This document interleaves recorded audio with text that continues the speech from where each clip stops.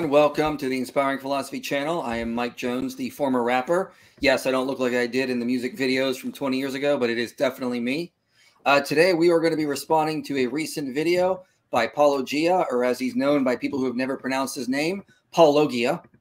Uh, we'll be going through a recent response he posted to me. Well, it wasn't so much him. He had someone on named Kamil Gregor to respond to an argument I put out on defending traditional gospel authorship.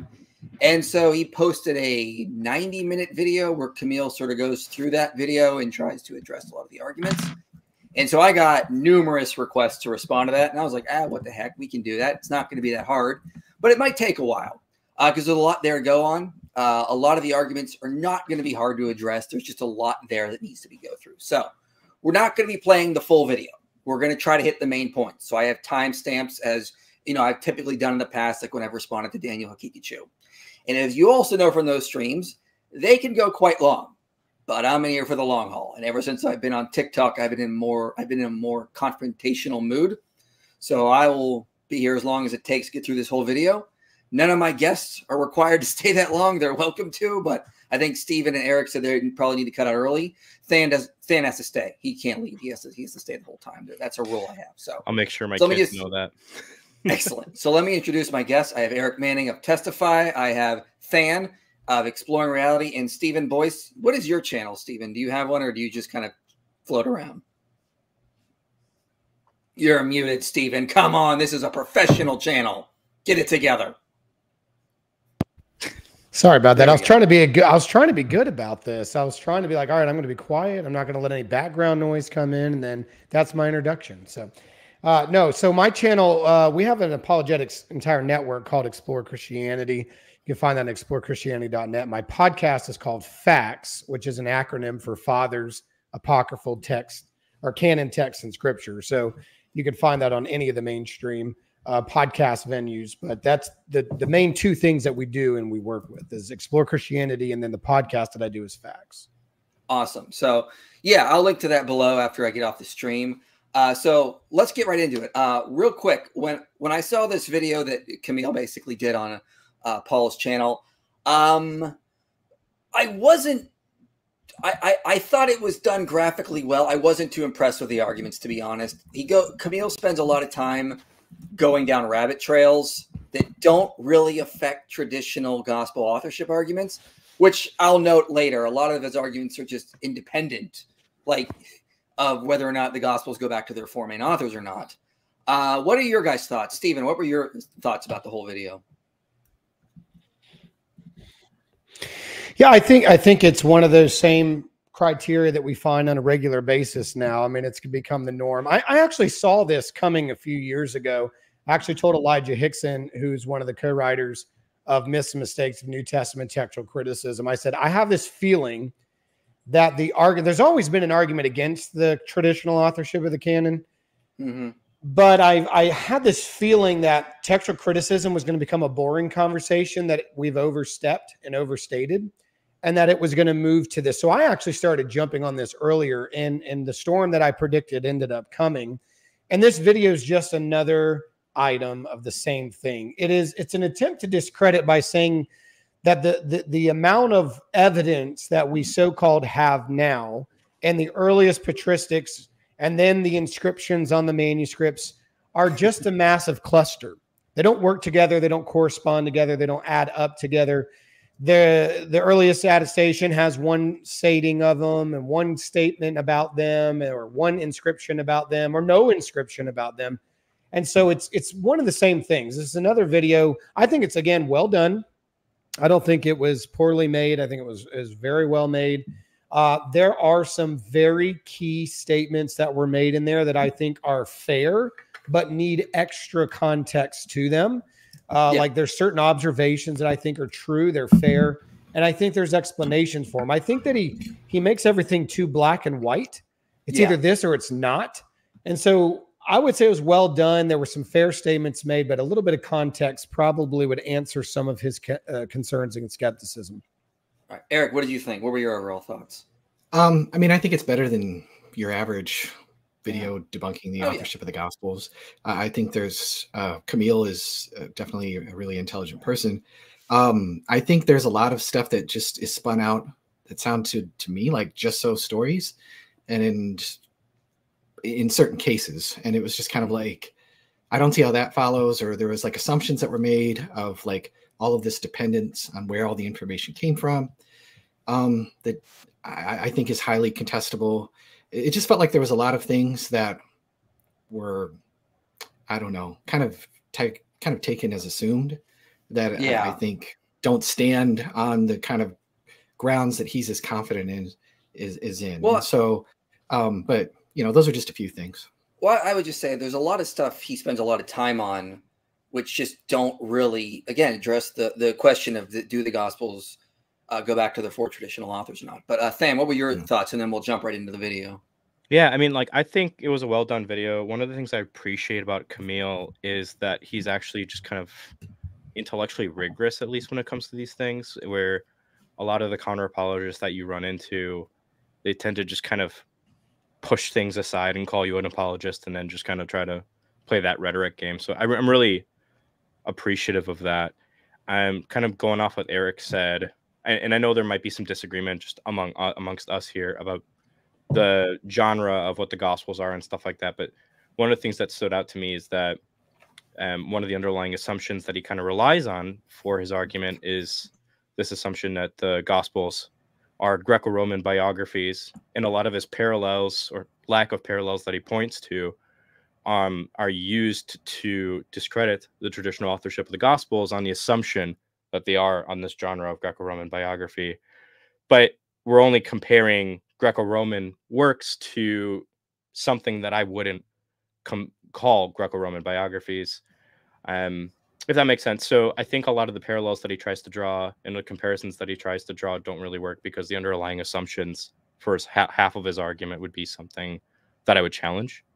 Mm-hmm. Um, so there's a lot to be said there, but that's kind of stuff that for a different, I think for a different stream too. But yeah, yeah. that's in terms of what the purpose of this stream is just going to be focusing on the question is do the four gospels go back to matthew mark yeah. luke and john are those titles early uh, would the church have accepted anonymous gospels and only added the titles in the second century? That's what we're going to focus on. So uh, when we get into the stream we're going to try very hard to stay on that topic because that's the real question at hand. Real quick uh, note about super chats. I will do super chats at the end.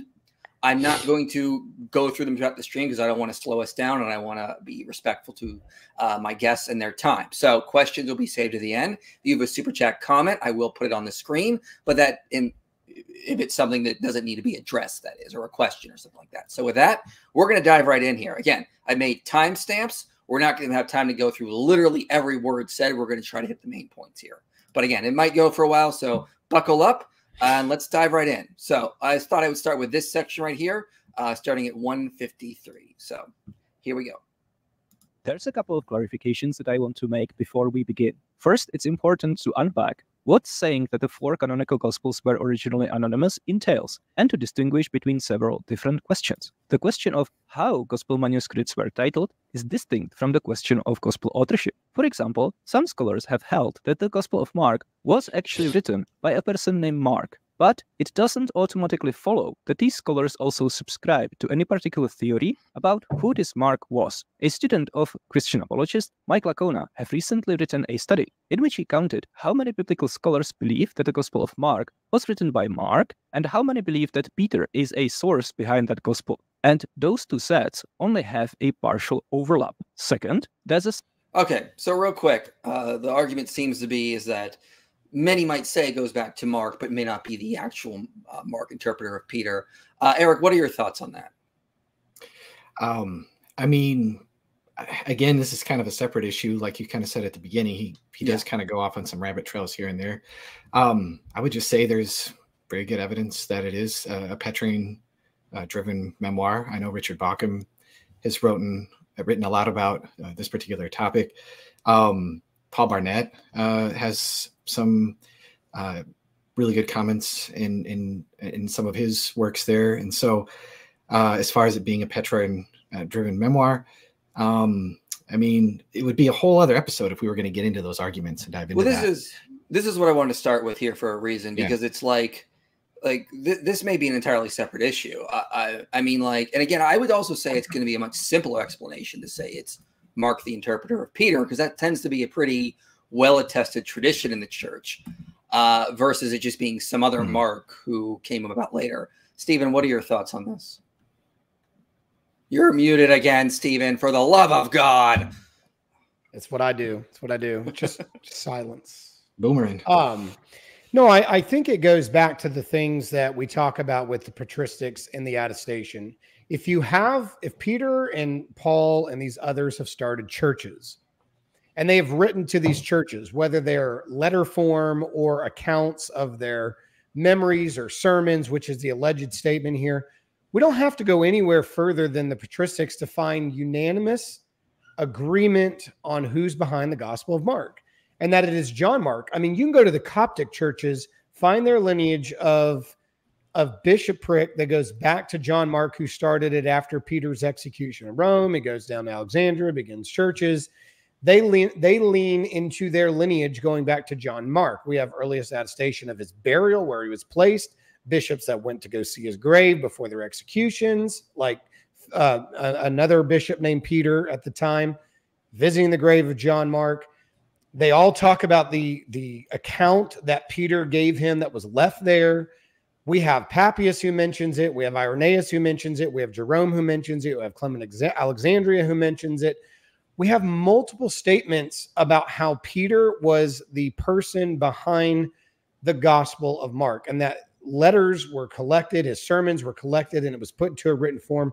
We have internal evidence of this. I demonstrated in multiple places of research and written and in oral that if if Peter's going to be behind the Gospel of Mark, we, we're going to need some evidence for that. We're going to need things to show up that would show Petrine favoritism, Petrine involvement, and that's what we see in the Gospel of Mark. The whole narrative is pushed one direction or another based on Peter understanding things or not understanding Mhm. things.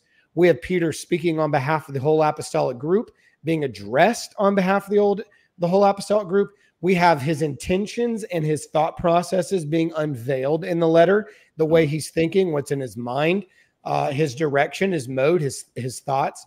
We don't have that when we look at Luke and we look at Matthew in comparison, the way that we have it in Mark's gospel. So we also have internal leanings into Peter. We also have inclusio eyewitness connections from the beginning where he is cited first into the narrative. And we make sure the the very end of chapter 16, you find, tell my brothers and Peter. It, it makes sure to end the letter, even or end the book, end the writing with Peter's name being last explained. And so we even see the connection in the very beginning of this. So we have attestation from the earliest church that was started there by Mark himself, connecting it to, to Peter, giving it to Mark. We have Mark being connected to Peter as an amanuensis from all the patristics, and there's no other candidates. We also have internal reason to believe Peter is telling it. I also want to really quick and let everybody else jump in. When you look at it as well from the perspective of the, the writing, can we find that it was once an oral tradition? This was the longest research I did on Mark. Is if it was a sermon that was brought to a written text, we should find difficult transitions.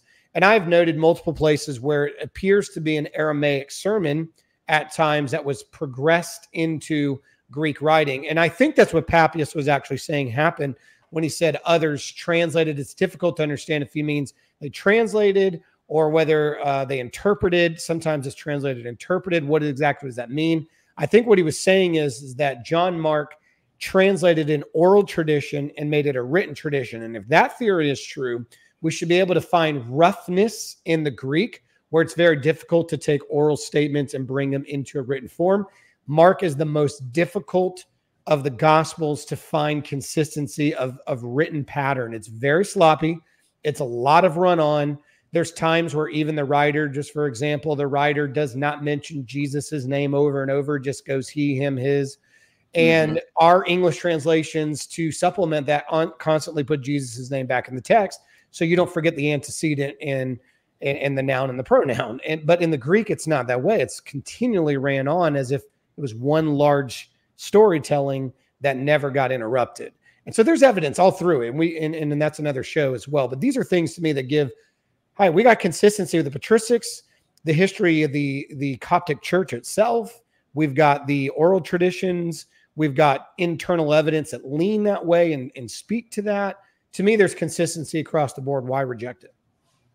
Yeah, and just to add to that, Maurice Casey wrote a book called Aramaic Sources on Mark, I believe it was about 20 or 30 some years ago. And he goes through and demonstrates that a lot of these uh, different speeches that Jesus gives in Mark seem to have underlying Aramaic sources. In fact, they make more sense in these reconstructed Aramaic sources. And that would suggest that Mark is getting his information from some sort of Aramaic speaker uh, and he is translating them into Greek. Uh, and so this would fit with the whole idea of Mark being Peter's interpreter and taking these Aramaic sayings and moving them in there. So it just seems when you look at all that data, the simplest explanation, the most parsimonious, is it's going to be Mark, the interpreter of Peter. Uh, I'll do a later video this year on internal evidence for Mark, but just with looking at the external evidence and the little bit of internal we mentioned here, it seems that it's most likely going to be Mark. So, hmm. all right, with that, as I said, we have different timestamps. I'm going to jump ahead here. Uh, the next timestamp I have is at 537. So I will go to a little bit before it to make sure we get it in. Anonymous. And so the argument the Gospels do not eternally identify the authors is not actually evidence they were known as anonymous works. I thought it would be nice to start with a point of agreement and acknowledge that when it comes to this specific aspect of the debate, Michael and the scholars he's citing are absolutely correct. Michael references an article in which Simon Gathercole responds to several scholars who think that a strict internal anonymity of the Gospels, meaning the Gospel authors never explicitly identify themselves by name in the text, is surprising. This is a good opportunity to highlight that there is no division between Christian scholars and so called skeptics. To my knowledge, all the scholars who are referenced by Gathercole as subscribing to gospel anonymity are practicing Christians. And one of the reasons they give for why the Gospels were written anonymously is that this was a way for the authors to indicate that they were merely working as wills of the Holy Spirit. For example, Kurt Aland wrote, in my opinion, it is beyond doubt that all the Gospels were published anonymously. Our present opinion about their authors dates from information which derives from the time of Papias or later. Kurt Aland has a gravestone with a huge inscription which literally says Hic expectat resurrectionem, or here he awaits the resurrection. As I mentioned, Gathercole correctly points out that an ancient history or biography, which is what he uses as comparanda to the Gospels, failing to explicitly name its author in the text, is no indication of whether the author was identified by name in the title of the work or not. That being said, the list of specifically ancient Greek and Latin historians and biographers who do positively identify themselves by their name in the text is quite a bit longer than what Gathercole reports. For example, he doesn't include Appian of Alexandria for some reason, but much more importantly, explicit identification of the author by their name in the text was perfectly common in ancient Christian biographies. Uh, you might think that Gathercole doesn't include them because they post-date the Gospels, but that can't be the case because he also discusses biographies written by late ancient philosopher Porphyry, who is contemporary or even later than some of these Christian biographies. There are at least eight extant ancient Christian biographies in which the author explicitly identifies himself by his name in the text, in some cases more than once. You can see the subjects of the biographies and the authors on screen. But what's important is not that, for example, the author of the Gospel of Mark doesn't say, As for my name, it is Mark, a disciple of Peter. It's that the author never acknowledges that he has access to eyewitness testimony in. All right. Well, let's before we get to the eyewitness testimony, let's talk about these Christian biographies. Let's talk about um, Appian of Alexandria. Stephen, what are your thoughts? But but again, this goes back to, and and I know that everybody wants to get into some of the biographies, the first century biographies, second century, bi- etc.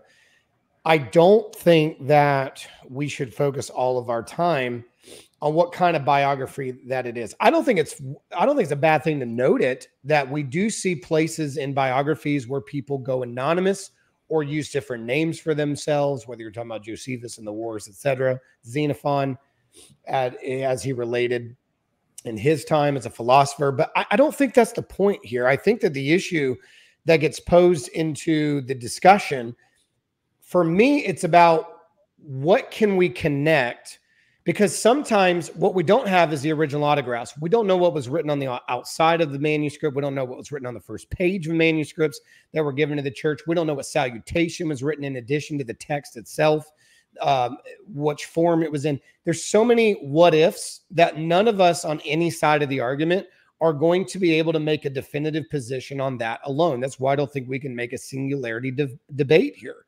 It has to be on what did the churches accept and what would they never have accepted? What would they have never accepted in a manuscript form? They're on high alert. We already know in the time of the apostles that they were being forged. Paul was concerned about this. Peter talks about corruptions to the word of God and to the works of Paul.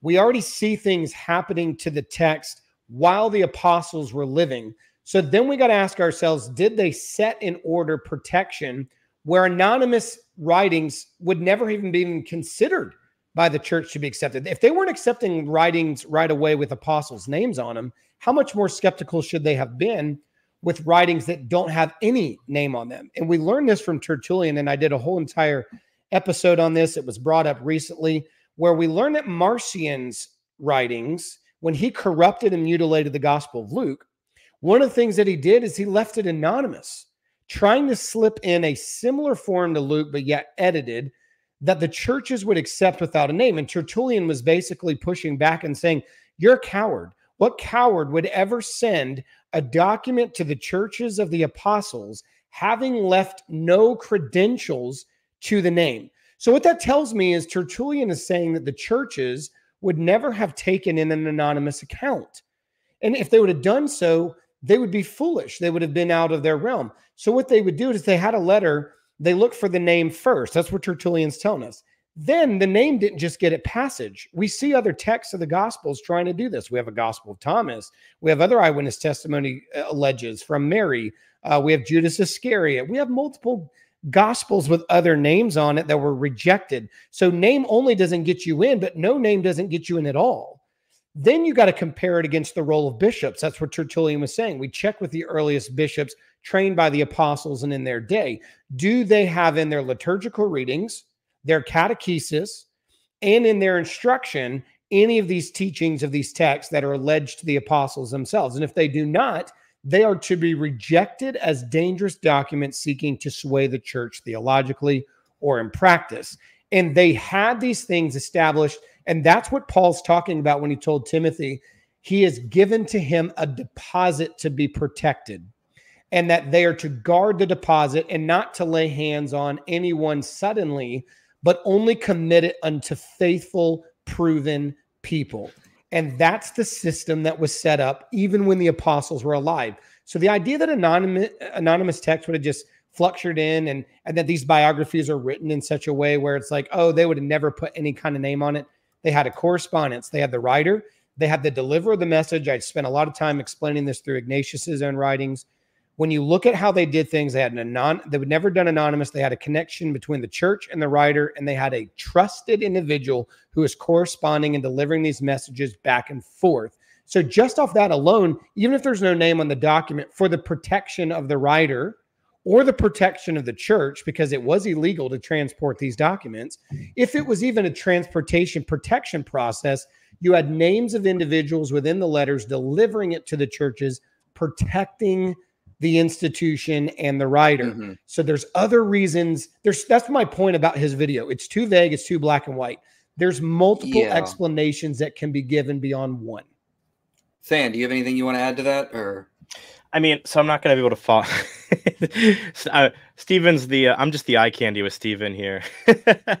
uh, the one thing I'll just add in is with um with what Stephen's saying, it, it's really important uh, just from an evidential perspective. If you're trying to think about how you're comparing hypotheses and trying to figure out which hypothesis renders the data more probable, it, it you can't just say here's my hypothesis it can vaguely explain the data, no matter how unparsimonious it might be.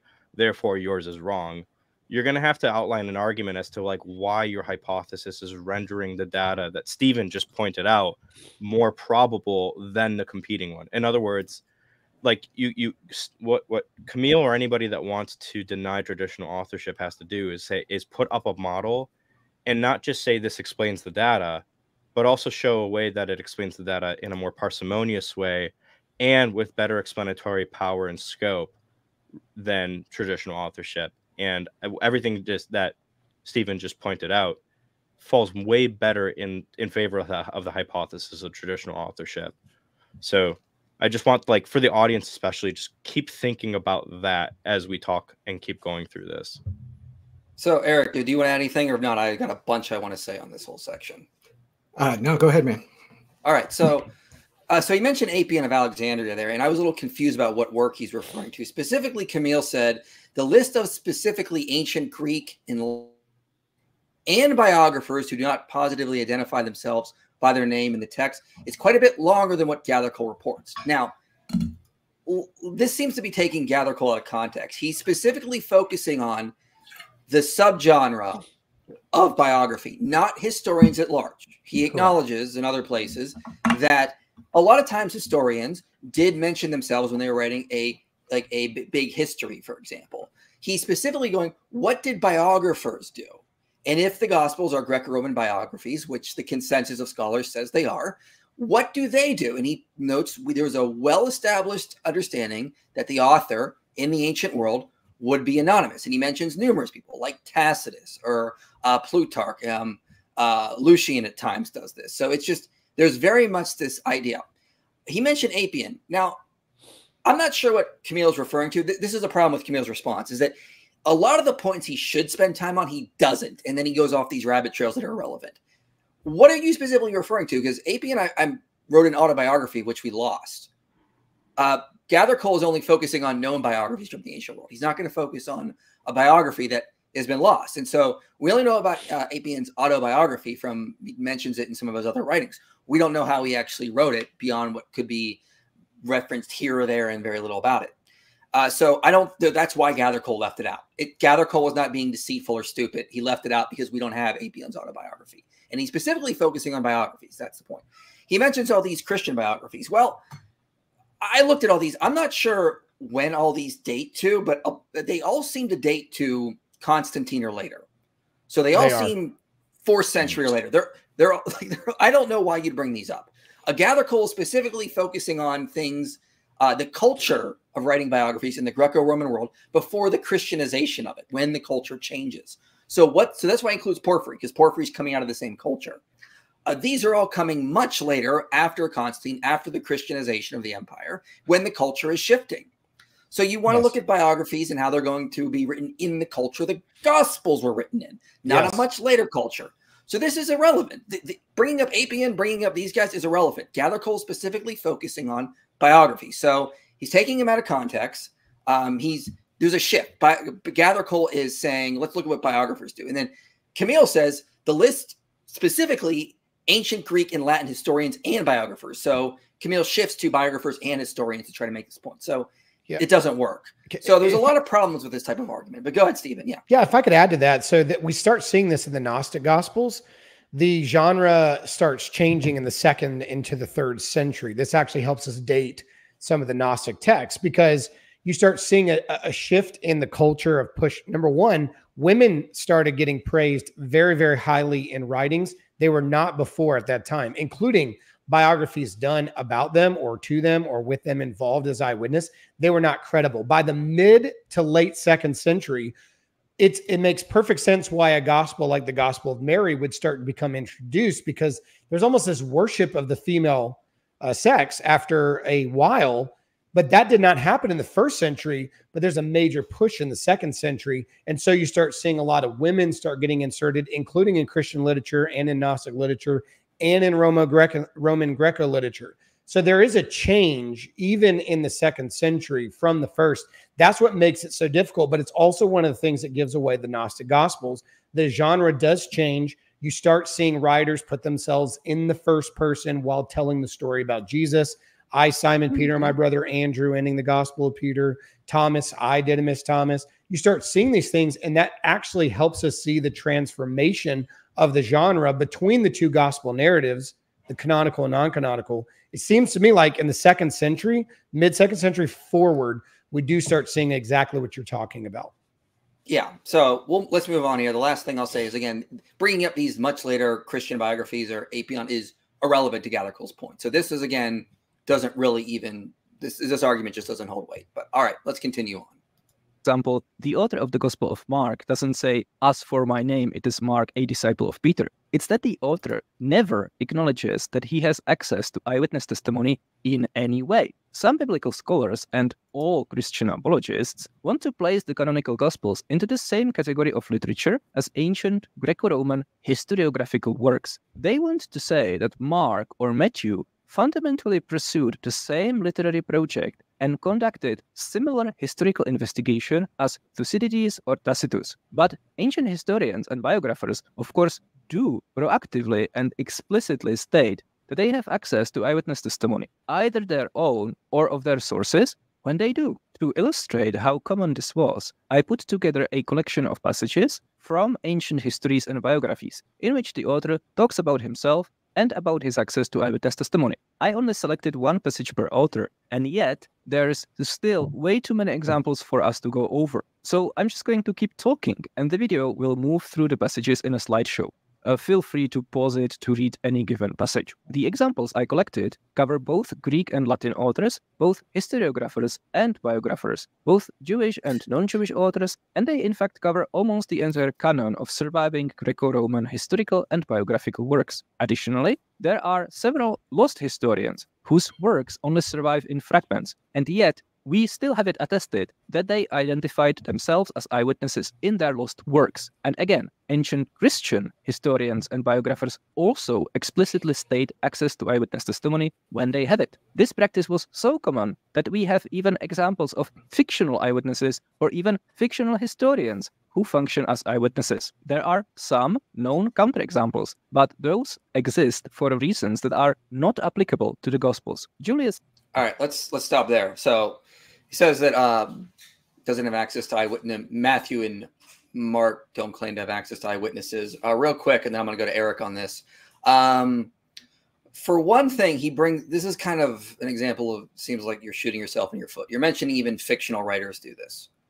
So this does not tell us whether the Gospels are fiction or history. It's it seems irrelevant to the main point. Uh, whether or not whether or not they mention they have eyewitnesses, that would not be that would be a separate issue of whether or not this goes back to Matthew, Mark, Luke, and John. Uh, and it seems like you're shooting yourself in the foot because Luke says this, John says this. Are you saying that those go back to eyewitnesses? Well, no, you would say that those are much later account, not dependent on eyewitnesses. So why even bring this up? This seems to be entirely relevant to the entire point. Does this go back to Matthew, Mark, Luke, and John? Eric, what are your thoughts? I mean, when he says that all Christian apologists want to say that the Gospels are Greco-Roman biography, there's obviously he shows uh, an unawareness that there's actually quite a bit of a debate uh, in that camp. I mean, you have like Lydia McGrew wrote a whole book saying that they're not written as ancient Greco-Roman biographies, but they are in fact reportage, and we know that they're reportage for a number of different ways. The way that they can be corroborated with um, what we know uh, about the culture of the time, the setting of the time, the history of the time, uh, the way that these authors are, the way that they interlock with one another, that shows that they're actually trying to write historical testimony. And so I, I understand that he's, I, I, agree with you that he's shooting himself in the foot saying, well, even fictional writers do this and all this other kind of stuff. But it's just kind of like, what are the gospels trying to communicate? I think they're trying to communicate factual truth and they're trying, they, there's ways that we can actually corroborate that both internally and externally um, and we can compare it you know as a test case against like apocryphal gospels and things like that and find out that they don't have those kind of details they don't have those kind of elements that we see um, in the gospels yeah. and so it's it's just kind of again like like you said it's kind of a weird point to me it, um, what i would what i would say to add to what you're saying though is like you know, we wouldn't expect Matthew to say that he interviewed eyewitnesses if, if the gospel does go back to him, because he would be like, yeah, this is, I was there. He doesn't have to interview witnesses like Luke would, for example. And, you know, Mark is, is the church tradition is that it's the preaching of Peter. So he's going to write down what Peter was preaching. He didn't go around interviewing eyewitnesses if he's just getting his information there from Peter. Luke explicitly says this. John says he was an eyewitness. So it's like, okay, well, if if you're just going to say that, you know, this is this is what it would it would do. It you're basically giving a pass to Luke and John, which he doesn't want to do. uh, you're ignoring a lot of the context around Mark and Matthew. And again, this is irrelevant to the actual question of who wrote these documents. They could be not Greco Roman biographies, and they could still go back to Matthew, Mark, Luke, and John. Uh, they could be. Uh, they, they could be uh, not even based on eyewitnesses, like let's say Luke, for example, isn't it? And it could still have been written by someone named Luke, who was, you know, not actually that close to Paul, just met him once, something like that. You know, you could actually make a claim like that. Uh, Sam, what are your thoughts? Um, so this kind of ties back into one of the things that I said right away, which is just I think a lot of Kamil's argument rests on this assumption of like the Gospels being Greco-Roman biographies versus some type of a continuation of Hebrew literature. Well, to, um, to, be um, fair, really quickly, just to be fair to Kamil, he is responding to me, and I do say they are Greco-Roman. Yeah, that's totally so fair. Just, yeah. yeah, no, so so that's not me. That's not me presenting that as a knock against Kamil. More so, just like I'm the, presenting another way to think about some things. And mm-hmm. ironically, um, I think it's in I, in 2014, Bart Ehrman of all people actually says something really similar, where you know maybe these things can't, maybe the, the Gospels can't be quite put into this genre of Greco-Roman biographies, and so Ehrman in this blog post actually even talks about like how these the last books of the Hebrew Bible are internally anonymous and Mark might be just starting his gospel as a continuation of scripture and he's internally anonymous not appealing to eyewitnesses or authority or anything like that taking the words of Peter now that's where Ehrman's not going to be saying something like that that's me putting this into the theory and the whole entire point that I'm trying to make here is that if this is the case if this is just Hebrew literature in the form of historical reportage in the continuation of the meta narrative of scripture, I'm not really sure you were going to expect these appeals to eyewitnesses and these I statements that Kamil's pointing to, because that's not in line with what you see in the Hebrew Bible either. Um, so that's one of those things where that I consider kind of a knock against this type of an argument, if that makes sense what I'm trying to get at here. You're muted. Stephen, yeah, Stephen, do you want to add anything? If not, I will just we'll move on to the next clip, but go ahead. No, I, I, just think it goes back to my perspective is that on the Gospels, three of them were worked on as a group. Um, I know that. Oh, I agree. My opinions differ for me. I think Mark is the only one that was not worked on as a group gospel. Luke collected multiple eyewitnesses. He states as much. He would have had Paul authorize his work. Uh, he traveled with Paul, and if it was Luke and it was the Luke that was with Paul, then he was traveling in Caesarea with him. He was in Jerusalem with him, mm-hmm. Rome with him. He met a lot of the eyewitnesses on the way. And Luke kind of tells you who he investigated by giving them short narrative stories about themselves. Matthew, I believe, was kind of a, a, probably the most difficult gospel to, to track down because I don't think it was just Matthew telling his eyewitness testimony and that's the end of the story. Uh, right. Uh, there's multiple scenes where Matthew wouldn't have been there that yet he's recording. Uh, but it, it, does appear to me that he started something that became a bigger work that was mm-hmm. published mm-hmm. later on uh, to the Greek churches and sent from the headquarters of Jerusalem. And then John, uh, and, and I've done an entire work on this. I think John's gospel was the Johannine community. I don't think he was the only one. I think he narrated it. I think somebody else wrote it. I think others, maybe perhaps yeah. Andrew was there. So it, again, if that's the case, we should start seeing some of these things come up. It's easier to understand if the, the, the apostles didn't work independently of each other on any mm-hmm. occasion. They were constantly working together, even when they were separated. They'd come back for a council meeting. They would come back and meet up with people back in Jerusalem and in Antioch to make sure that they were corresponding. The apostles didn't do a lot of independent works. So it's a little bit different comparing these to an independent biography written by one of these ancient Greeks, one of these ancient Romans, because they were doing them independent.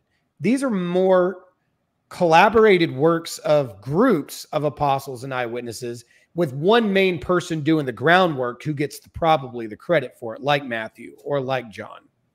Yeah, I, I totally agree with that. And one thing I would say is again, this doesn't the point Kamil's bringing up doesn't count against traditional authorship. You could make this argument against the idea that they're Greco-Roman biographies, and I would just say to that, um, books like Richard Burridge's work, "What Are the Gospels," or Craig Keener's book, "Christobiography," uh, even some of the work Mike Licona has put out, uh, and I assemble that in a video I did just before this one they're responding to called What Are the Gospels? And I just show all the evidence that there's just against this one point, there's so much evidence stacked up in favor of them being Greco-Roman biographies. Yes, a lot of ancient Greco-Roman biographies reported eyewitnesses, but that wasn't a necessary feature of them.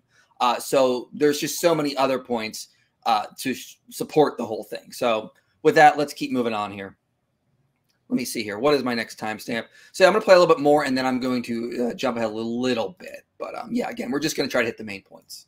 Julius Caesar refers to himself in the third person in his commentary, except for one passage, and Xenophon apparently wrote his Anabasis under a pseudonym. In both cases, this is because they are the main characters, and their works continuously describe their own military victories and other accomplishments, so it would be perceived as too self congratulatory for them to constantly refer to their successes in the first person. This would only be comparable to the Gospels if they were written by Jesus himself. There are also some fragments of lost histories in which the author refers to himself in the third person. For example, 3rd century general Herennius Dexippus. But because we don't have their works preserved, we don't know whether the author identified himself elsewhere in the text. Just like All right, with that, I mean the point I would respond to that really quickly, and then I'm gonna let you guys have it out, is that uh, he talks about how like you know someone like Caesar would would not be mentioning himself because it could not be it could be considered a little too boastful. I guess was his main point. But you could make the same point. I remember E.P. Sanders talking a little bit about this. It's it would be if you're trying to focus on the work of God in your belief system and the work of Christ, you don't want to be making references to yourself in a biography, especially if your main focus is on what Jesus specifically did. So that can also help push the gospels to be very, very anonymous in this, focus more on Jesus and not be focusing on like, you know, what, what they're doing in the story, how they're interacting in the story. That's going to pull focus away from Jesus. So if you already have that cultural expectation, the cultural expectation of being anonymous in works like this, it can really push the gospel authors in their Christian communities to be more and more anonymous. So I don't see this as again a point, but again, this isn't even a point against traditional authorship. Eric, do you Any want to points? go ahead, Than. You go first. Yeah, all I was just gonna say is I I, I agree. I'm not really seeing a lot. No, I mean I just told. Uh, go ahead. I'm just uh I'm not seeing like a logical connection from what Kamil is saying to the gospel authors. Like he's just kind of pointing out, hey, this is how this is treated, and then just leaving out the extra part of the argument that's needed, which is like, why is it the case that necessarily the gospel authors would do X when Xenophon did Y or something like that? Like, I'm not really seeing the logical connection at the end of the day. That's all I really wanted to say. It's why can't the why can't the gospel authors not follow this trend that Kamil is observing in these other writings? Right. All right, Eric. Why don't you go, and then we'll move on to the next clip. Uh, no, I, I just agree. Um, I, I don't think that there's anything with the the whole third person kind of kind of thing there. Uh, even in Matthew's account, um, a lot of times people will bring up, well, why is Matthew just taking his own calling um, from Mark's gospel and retelling the story almost word for word if he was really there? Like, why would he even do that? But if you actually look at some of the verbal differences, Matthew basically omits himself completely out of the story. He doesn't t- draw attention to the grandness of the event. Um, there are like these kind of little indicators of him trying to kind of take himself out of the story even more so uh, than what you would see in the other synoptics. And so, um, so yeah, just just tacking that that point on there real Yeah. quick. Awesome, guys. All right, I'm gonna again move ahead a little bit like this. I'm gonna play the next clip and go and mute your mics. If you guys want to talk, just unmute your mic and then I'll know to come to you. So, all right, let's let's go. Or works of historical fiction, for example, the Alexander Romance or various lives of Aesop or some ancient novels. It's difficult to overstate how significant this observation is for the question of gospel authorship. Greco Roman historians and biographers who conduct actual historical investigation and who do have access to eyewitness testimony consistently write entirely differently from how Mark or Matthew are written. This is the real problem of gospel anonymity. If the Gospels followed the same literary practices as ancient historiography, we would absolutely expect the Gospel of Mark to say, and Jesus saw Simon, who gave this testimony, or the Gospel of Matthew to say, and he saw a man named Matthew, the author of this account. explicit declaration of eyewitness testimony is, of course, also very common in later Christian Apocrypha. We know of some 20 ancient apocryphal works in which the author explicitly communicates access to eyewitness testimony in the text. Uh, you can see their titles on the screen. So, why is it the case that these writings conform to what we expect to see in Greco Roman historiography better than two of the canonical Gospels? Well, it's because they were written later, at a time when it became important to establish apostolic authority. It's not surprising that it's precisely the two earliest Gospels, Mark and Matthew, that make absolutely no mention of having access to eyewitness testimony. It's only. All right, let's stop there. Okay, so he makes the argument that Matthew should have like made a nudge to himself, or Mark should have made a nudge to Simon Peter. Stephen, you're I knew I was going to come to you right away as soon as I hit stop. So go for it. Yeah, I it goes back to what was the purpose of these gospels. The gospels are that the churches did initially not want written accounts. They would rather hear the accounts from the apostles themselves. We see this in Papias. Papias says that he would rather hear things from the living and abiding voices those that were actually there. Who wouldn't?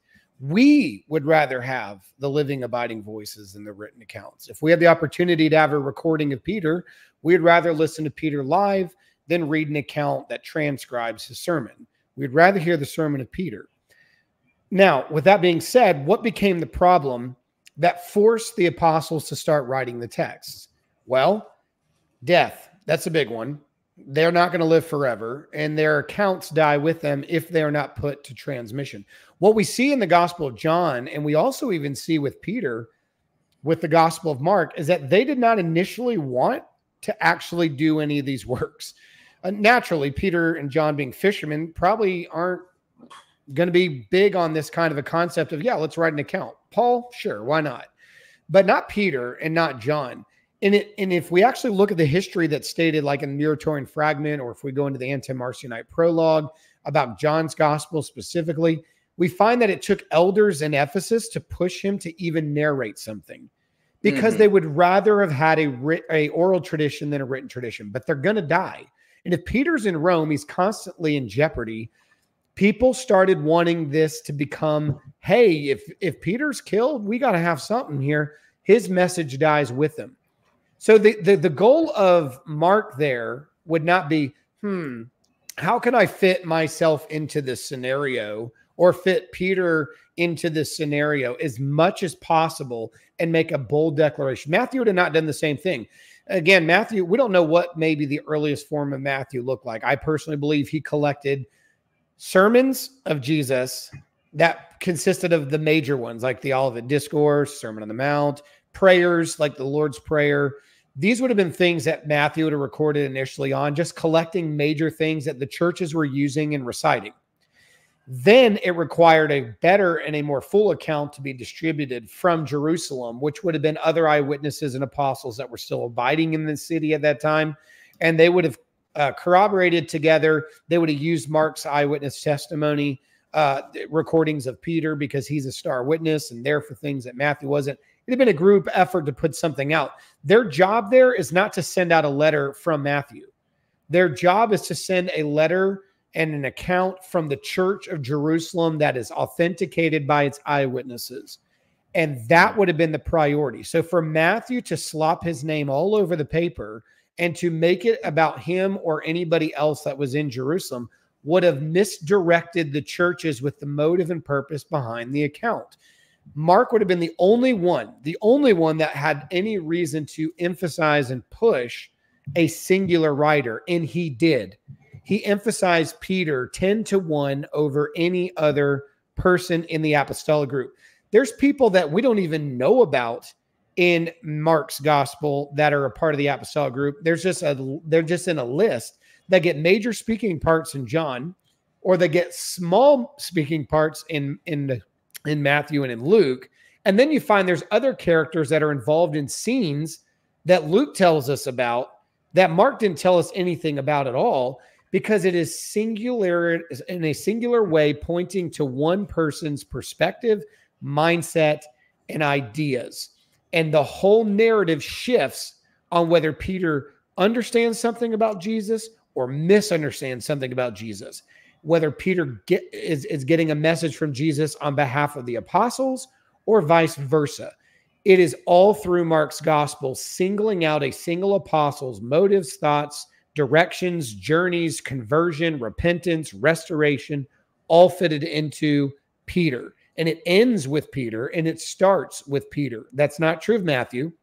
It's definitely not true of John. John tells us that later on that Peter wasn't even introduced to Jesus until his brother sent him over. And it word order changes the brothers. It's Andrew and his brother Simon, mm-hmm. whereas in Mark, it's Simon, then his brother Andrew. Changes his whole trajectory. And even when Peter is first introduced to Jesus in the Gospel of John, he gets no speaking parts. Jesus says something to Peter, but John doesn't even report anything that Peter says back to Jesus. It's only Andrew and it's only the anonymous disciple that gets any words said to Jesus in the first section. We see a major shift in the accounts, and that has to do with the point of emphasis, the audience, and the message that the churches are trying to receive. This is new for the churches to get written accounts when they're used to receiving verbal accounts and oral sermons from the apostles.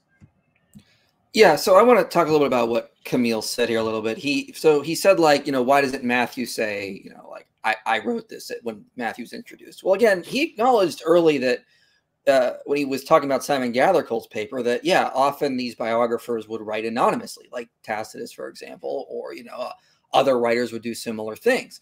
But it was not always required.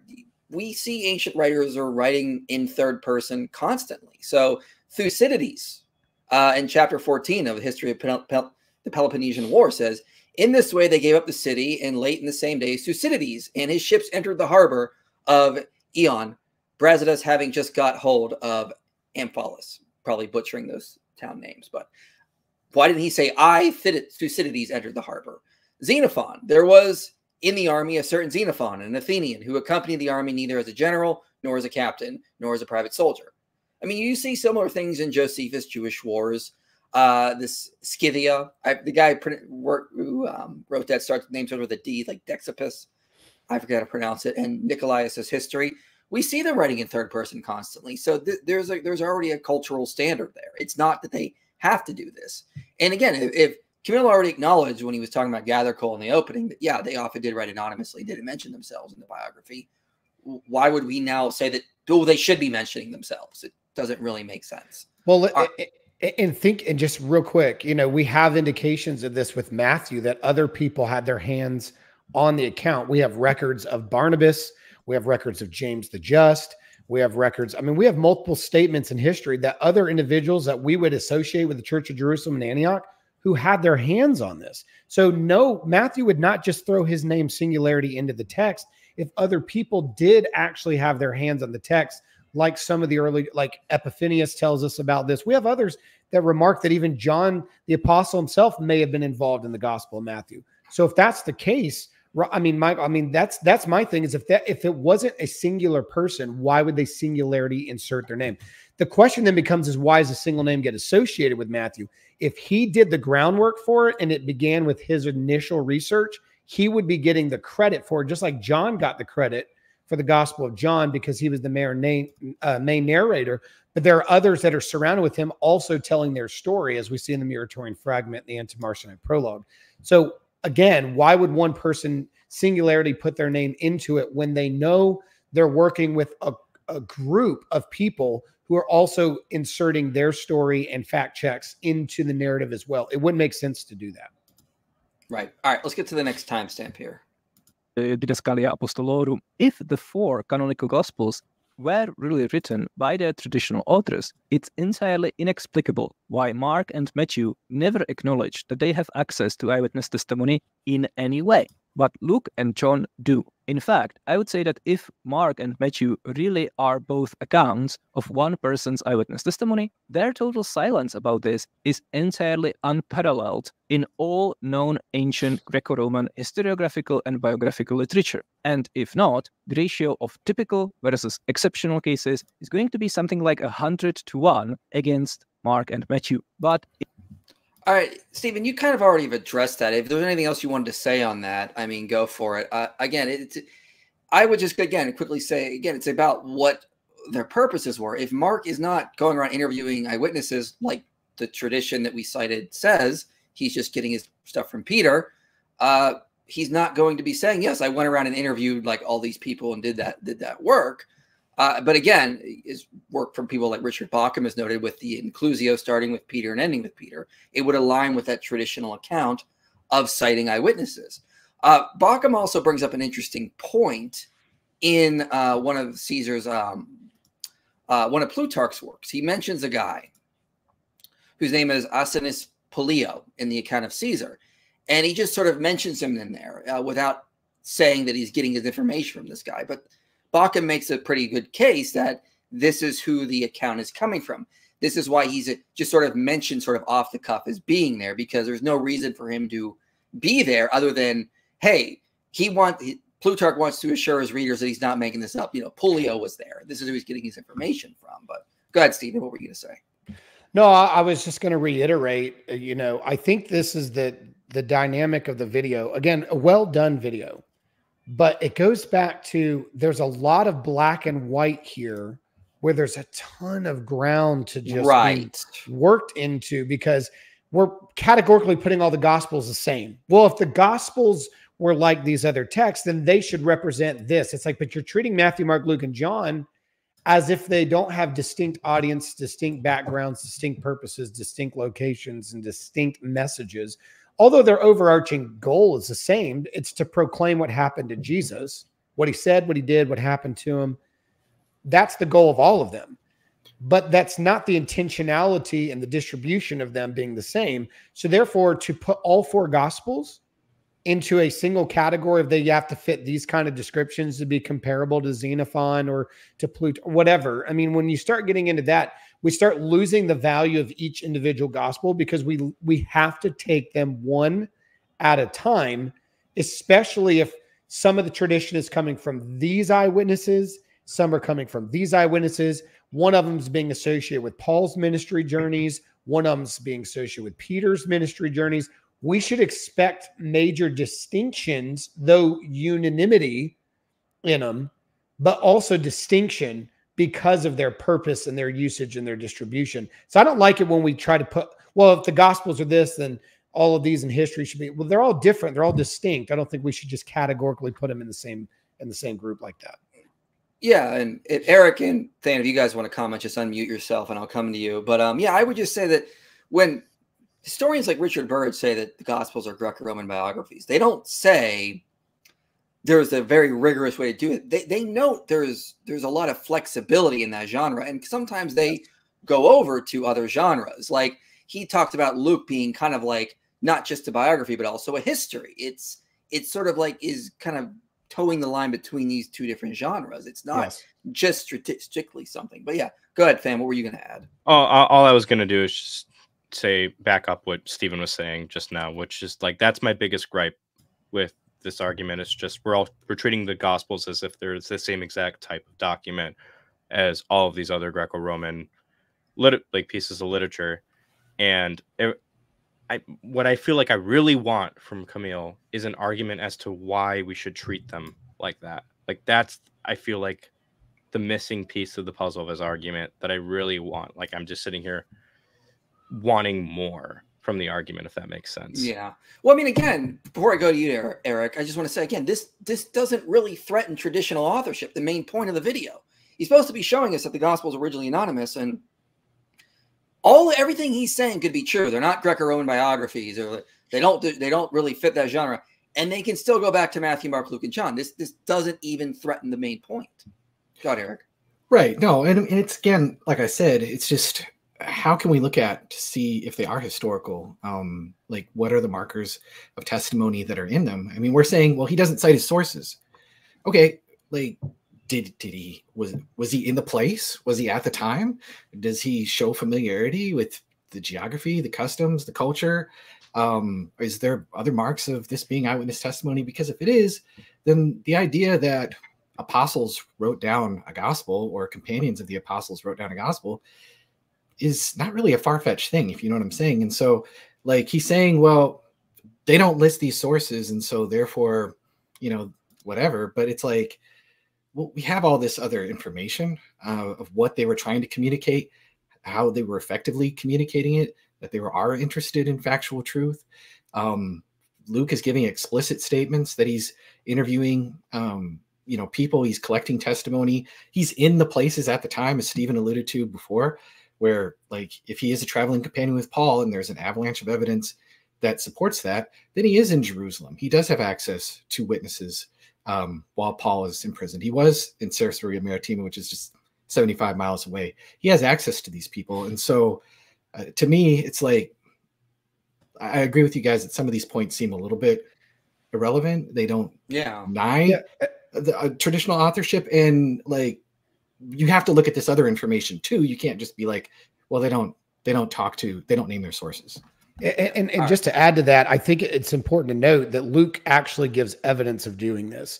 In the we, us, and our passages, the writer, you find him in Caesarea with Philip and the four and his four virgin daughters.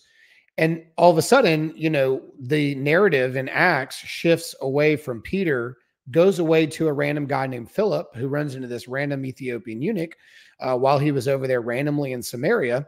And you ask yourself, well, where did this story come from? But then we see within the narrative, Luke, in his travels with Paul, spent the night and had dinner with Philip and his four daughters in Caesarea. So he was there with the guy. So then you go, okay, so where did the material of chapter eight of Acts come from? Well, it had been from the night that he stayed at the man's house. So, I mean, that's just one example that happens all the time in Luke and Acts. You find this correspondence where if he's with Paul, he would have received like the, the the prayer of Mary.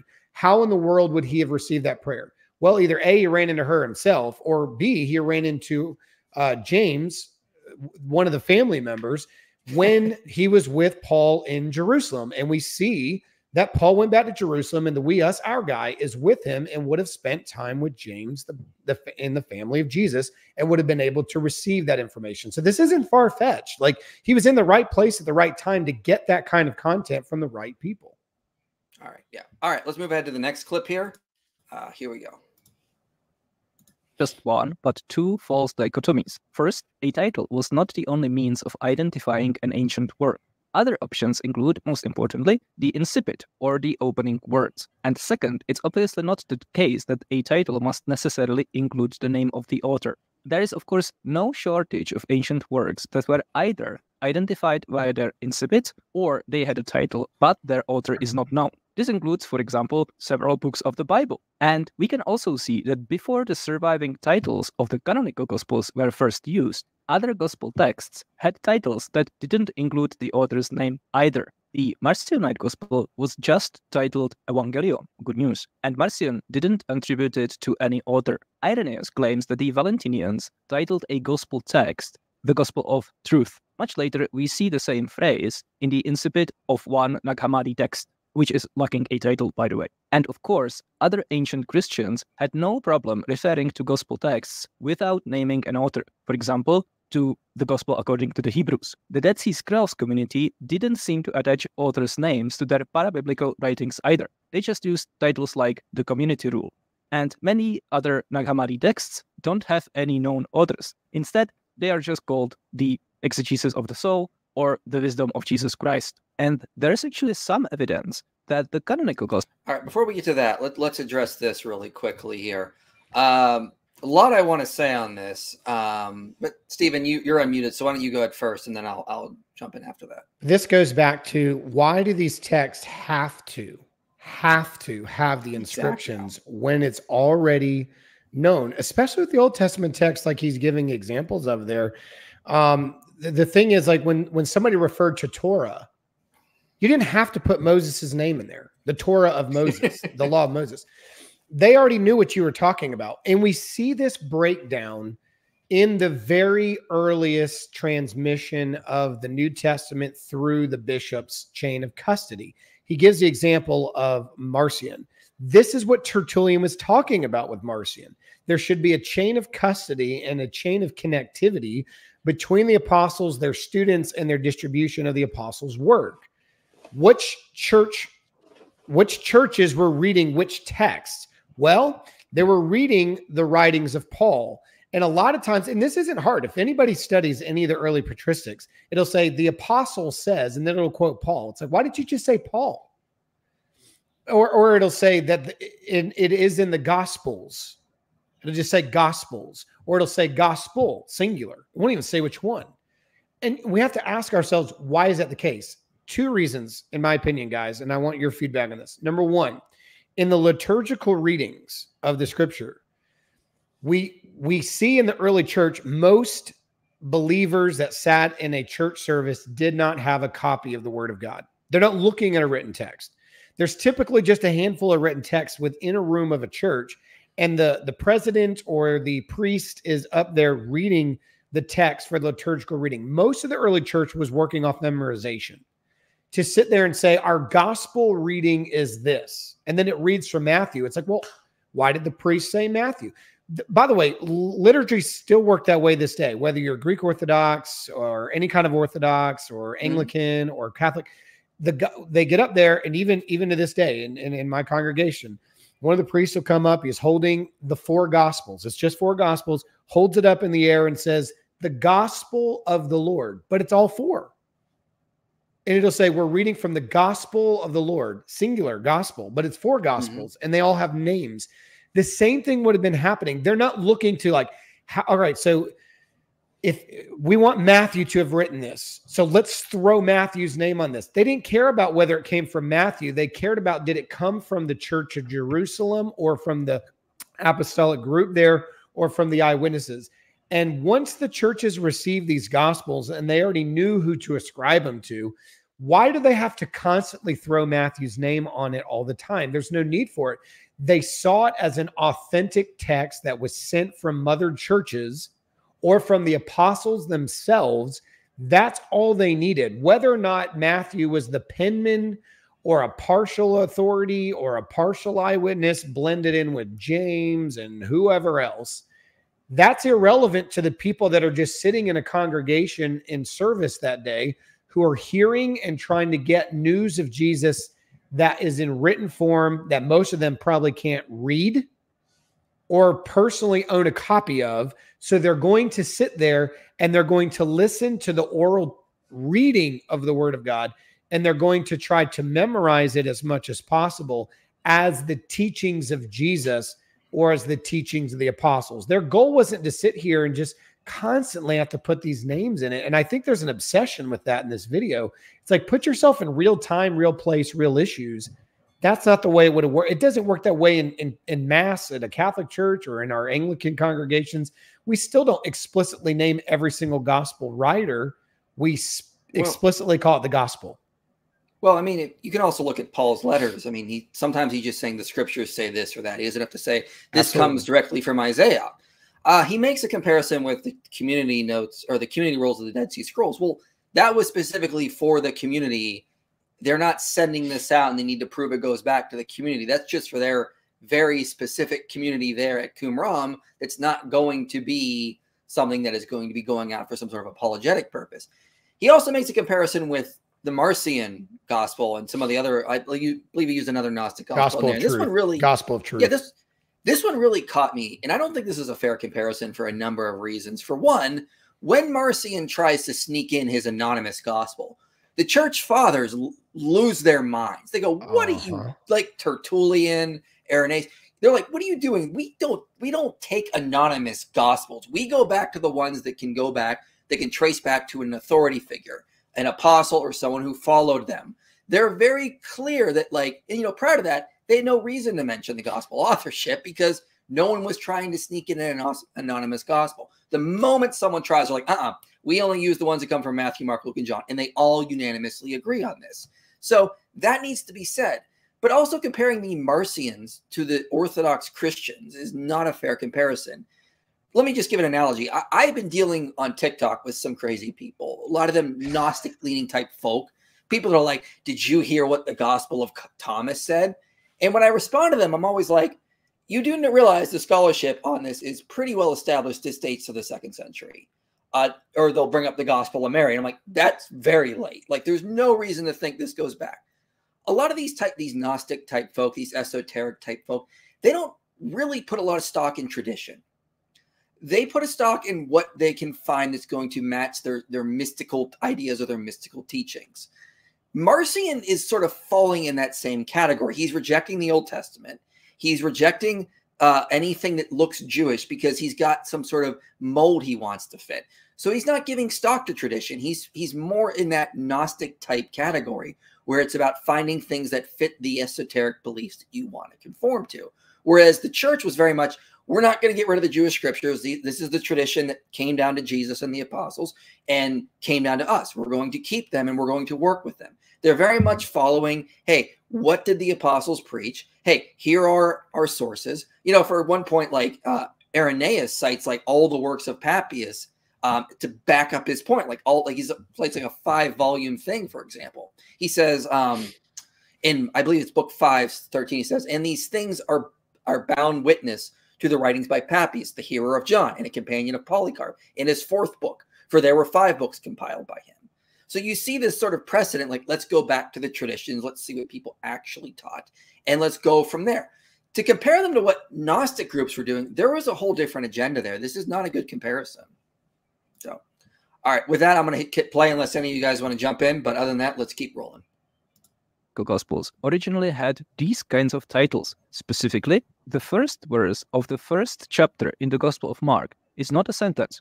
It doesn't have any word. It says Arche Evangeliu Jesu Christu, or the origin of the good news of Jesus the Messiah. That's a title. Similarly, the first verse of the first chapter in the Gospel of Matthew isn't a sentence. It says Biblos Geneseos Jesu Christu, huiu David, huiu Abraham or The Book of the Origin of Jesus the Messiah, Son of David, Son of Abraham. That's a title. And we even see some evidence that before gospel titles were standardized in the second century, the title of this anonymous book was unstable. The Didache, which I've already mentioned, refers to material appearing in the Gospel of Matthew, but it cites it as to Evangelion to Kuriou Hemon, or the good news of our Lord. That's a title. Similarly, when Justin Martyr uses material which we can recognize in the canonical Gospels, he calls it Apomnemoneumata ton Apostolon, which is usually translated as apostolic memoirs. And he actually repeats this specific phrase so many times that some scholars think this is a book title. Apomnemoneumata is all right, let's stop there. Let's talk about a little bit about, about these titles. I know, Stephen, you and I were talking a little bit about this beforehand. Than, you were also talking about it. So either of you guys want to go, go for it. Than, you want to start? Uh, I mean, all I'll say is just I think I think he's right about the Gospel of Mark. I think, and yeah. you guys might disagree with me, but I think I, I think a better the better translation is the beginning of the good news, um, rather than the origin of the good news. Um, and I think that's a title that of Mark, but I don't I don't know how that is somehow evidence against traditional authorship either. Right. Uh, so it, goes back to what I was saying. I, I, don't see that as a problem. I see that as sensible. Um, these writings are intended to be the life, ministry, and teachings of Jesus that are given to the churches because the apostles are dying off. The oral tradition time is over. And these authorized texts are being distributed to their proper churches with the chain of custody of the writer the message that's being delivered and the church that's going to receive it. They know where it came from. There is such a thing as community assumptions. Uh, for example, if I'm on this podcast right now and I'm sitting here having a conversation with you guys and saying the president of the United States made a statement yesterday, do I really have to say Joe Biden? We as American citizens assume when I say the president of the United States, you know who I'm talking about because we all are familiar with what's currently going on. When these people are alive and the apostles are writing these texts, they don't have to specify themselves constantly or their individuals that are in their groups. It is good enough to make as long as it's actually from the the apostolic group that are delivering these messages, these letters, these epistles, these gospels, these accounts. As long as that it's traceable to them, you have the church they started, the congregants they they discipled, the leaders they left there that they were discipling to go and minister to these churches, their correspondence with those that they trained and receiving the messages from them that these are the deposits given to their successors, whether it's Timothy, whether it's Titus, whether it's Apollos, whoever else you want to list in the category, they have these individuals at these churches. They're giving them these letters and they're saying, commit this to faithful men, teach this to faithful people, continue this on. Or like the church of Colossae, take this letter and transcribe it, send it over to Laodicea. If that is the instruction that these individuals are giving, these apostles or leaders of the churches are giving, the assumption of the church is when they're reading the gospel of Mark, it's not about Mark. It's not even about Peter's sermon anymore. It's this is the message of the Lord because they trust that Peter gave them what he heard. And therefore, when Peter is, is preaching, Jesus went over to Galilee and he said these things to these people, they're assuming that Peter, who heard that, is telling them what Jesus said. Therefore, it is the gospel of the Lord. It is the gospel and the lineage or the genealogy of Jesus because they're they are trusting the message has been transmitted over to a written text. They are now hearing the verbal reading of these texts that were once preached throughout the entire uh, Roman province at that time. Now they're getting it in a written form. There's so much that they already know to be true that doesn't require a bunch of repeat over and over again from the names. Yeah. Yeah. Go ahead, Eric, and then I'll jump in Oh, there's some yeah. stuff I wanted to say. just noting one thing I'm going back to uh, the idea that there's the uh, mark is is based on the testimony of peter there is one spot just since he brought up justin martyr where he actually he refers to it as the memoirs of the apostles like he stated but he also at one point i believe it's in the dialogue of trypho he refers to it does. as one of the gospels as the memoirs of peter Yes. and he's uh, out of the passages that Justin cites from the Gospel of Mark. One of them is um, referring to like the sons of thunder. Like that's only found in the Gospel of Mark. Yep. And so it's just kind of like extra evidence that supports the idea that these aren't just like memoirs of the apostle. Bam, that's a title. That's also there's one that he refers to as the memoirs of Peter, and it seems pretty obvious that he's referring to the Gospel of Mark. So I just wanted to toss that. But, but to but to go in into that before Mike, before you jump in there, to add to what he's saying, remember the statement that he used about the um, the memoirs of the apostles. What context did Justin Martyr use that in? Public liturgical readings, because he also mentions that they're reading the prophets in that sermon or in that Sunday before the sermon comes to explain and exposit those memoirs. So you have a circumstance with Eric's example, and it's a great one, Eric, that he one minute says and gives context to Peter in his memoir when explicitly stating the passage. But when he refers to the public reading of them in a whole, he doesn't individualize the name. He just calls it the memoirs of the apostles. What's the context of Justin Martyr saying that? He says it in the liturgical readings in front of the church, which is an assumed community that already knows where they came from. Just like when he says they read the prophets in the very next line, memoirs of the apostles and the prophets, he doesn't have to specify, oh, they read Isaiah, they read Jeremiah, they because the church community is assumed to know when they start reading the words of Isaiah 53 that he's reading from the prophet Isaiah. It's assumed within the community. Does that does that make sense? Uh, uh, Yeah. Yeah, that makes perfect sense. And you know, when Justin Martyr refers to that, it's in Dialogue of Trypho 1063. correct. Uh, and so, but I mean, for example, Craig Evans in his book uh, Jesus and the Manuscript says the important point here is that memoirs are not anonymous; they're linked to known personalities. You're not going to call something a memoir of someone if it's not linked to these personalities, and that's the point he goes in there. These would not have been anonymous if they're memoirs of someone. And it's interesting that Justin says they're memoirs of the apostles and those who followed them. Two of the two of the gospels are attributed to apostles and two are attributed to men who follow them. That aligns perfectly with the unanimous attestation. This goes back to Matthew, Mark, Luke, and John.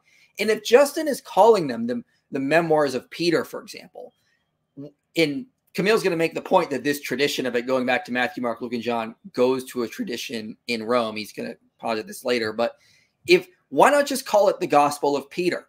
Why are you downgrading it to the Gospel of Mark to someone Yep. who followed him? That's not that's not a good apologetic if you're going out there, especially when the Marcionites come on it. Oh no, we've got one directly from Peter himself. No, they they stick to tradition. This goes back to what Mark wrote. Uh, with regards to him mentioning these being titles, uh, like that opening line of Mark, that's perfectly consistent with Gathercole's paper and what he was arguing. Gathercole says in his paper, for example, um, he says ancient works were often I would, would often identify the author in an external fashion. Um, I'm paraphrasing, by the way, like in a title, subscription, main uh, uh, above the main body, that is, or in a table of contents, a running header, an end title on the title page, a tag, and or on a flyleaf cover in the front. And we know that a lot of the early manuscripts that we have um, have this flyleaf attached to them. So you could have that opening line in Mark, and then you could also have the flyleaf title or the flyleaf mentioning of who the actual author is or where the tradition comes from. There were multiple ways. So Gathercole's aware of this.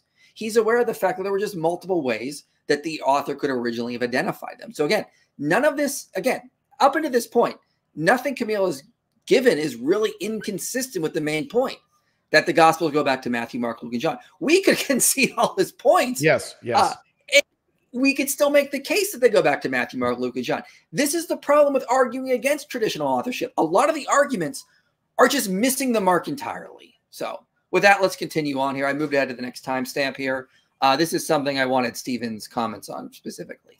Yes, Gospels, and not just the four canonical Gospels, are titled using the Greek preposition kata plus a noun in the accusative case. So, according to Philip, or according to the Hebrews. In titles of ancient literary works, this specific formula was used for version control. It was used to differentiate between several existing versions of the same text. In all known instances, the formula was not applied by the author, but by someone else later. There are many different examples of this practice. The first is the poetry of Homer. Textual critical alterations of the works of Homer were done already by ancient readers. Most typically, some verses were excised because they were considered inauthentic.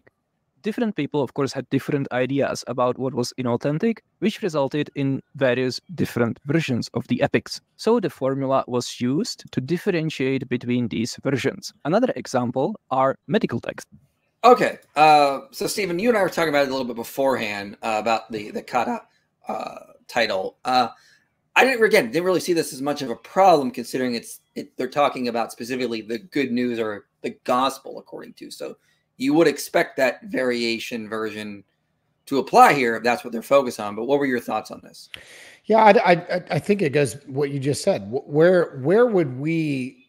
I, I, I almost maybe you guys can you guys might know him better where is he trying to draw a, a argument against ours here? Like where would be the cutting edge that says this is where you're wrong? Because when i when i went back over this section again i thought to myself okay he doesn't know me probably and he probably if he knew me he would know i would say that's cool. I'm fine with that. Like i mean I, I don't i don't uh, just because it has the the preposition and the ownership concept there so where would he push back? You guys might know better than me. Like Eric, uh, you you follow. I'm, I'm I'm as confused as you are on this. How this is supposed to be an argument against traditional authorship?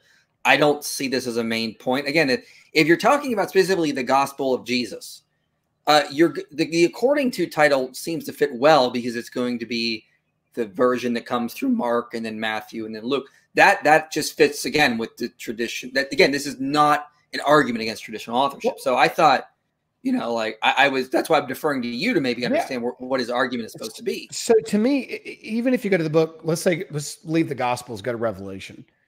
In Revelation one, it's always called the Apocalypse of John. Most most commonly, it's called the Apocalypse of John. The first line of the book of Revelation actually says it's the Apocalypse of Jesus Christ, but it's mm-hmm. always called the Apocalypse of John it's a it's a it's it's uh, inscriptions are typically given to John. The Apocalypses is written right on there, and then a lot of attribution is given to John on the manuscript tradition.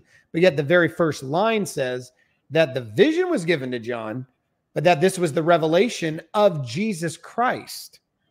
So I don't see. So to me, it's like, okay, can you have both?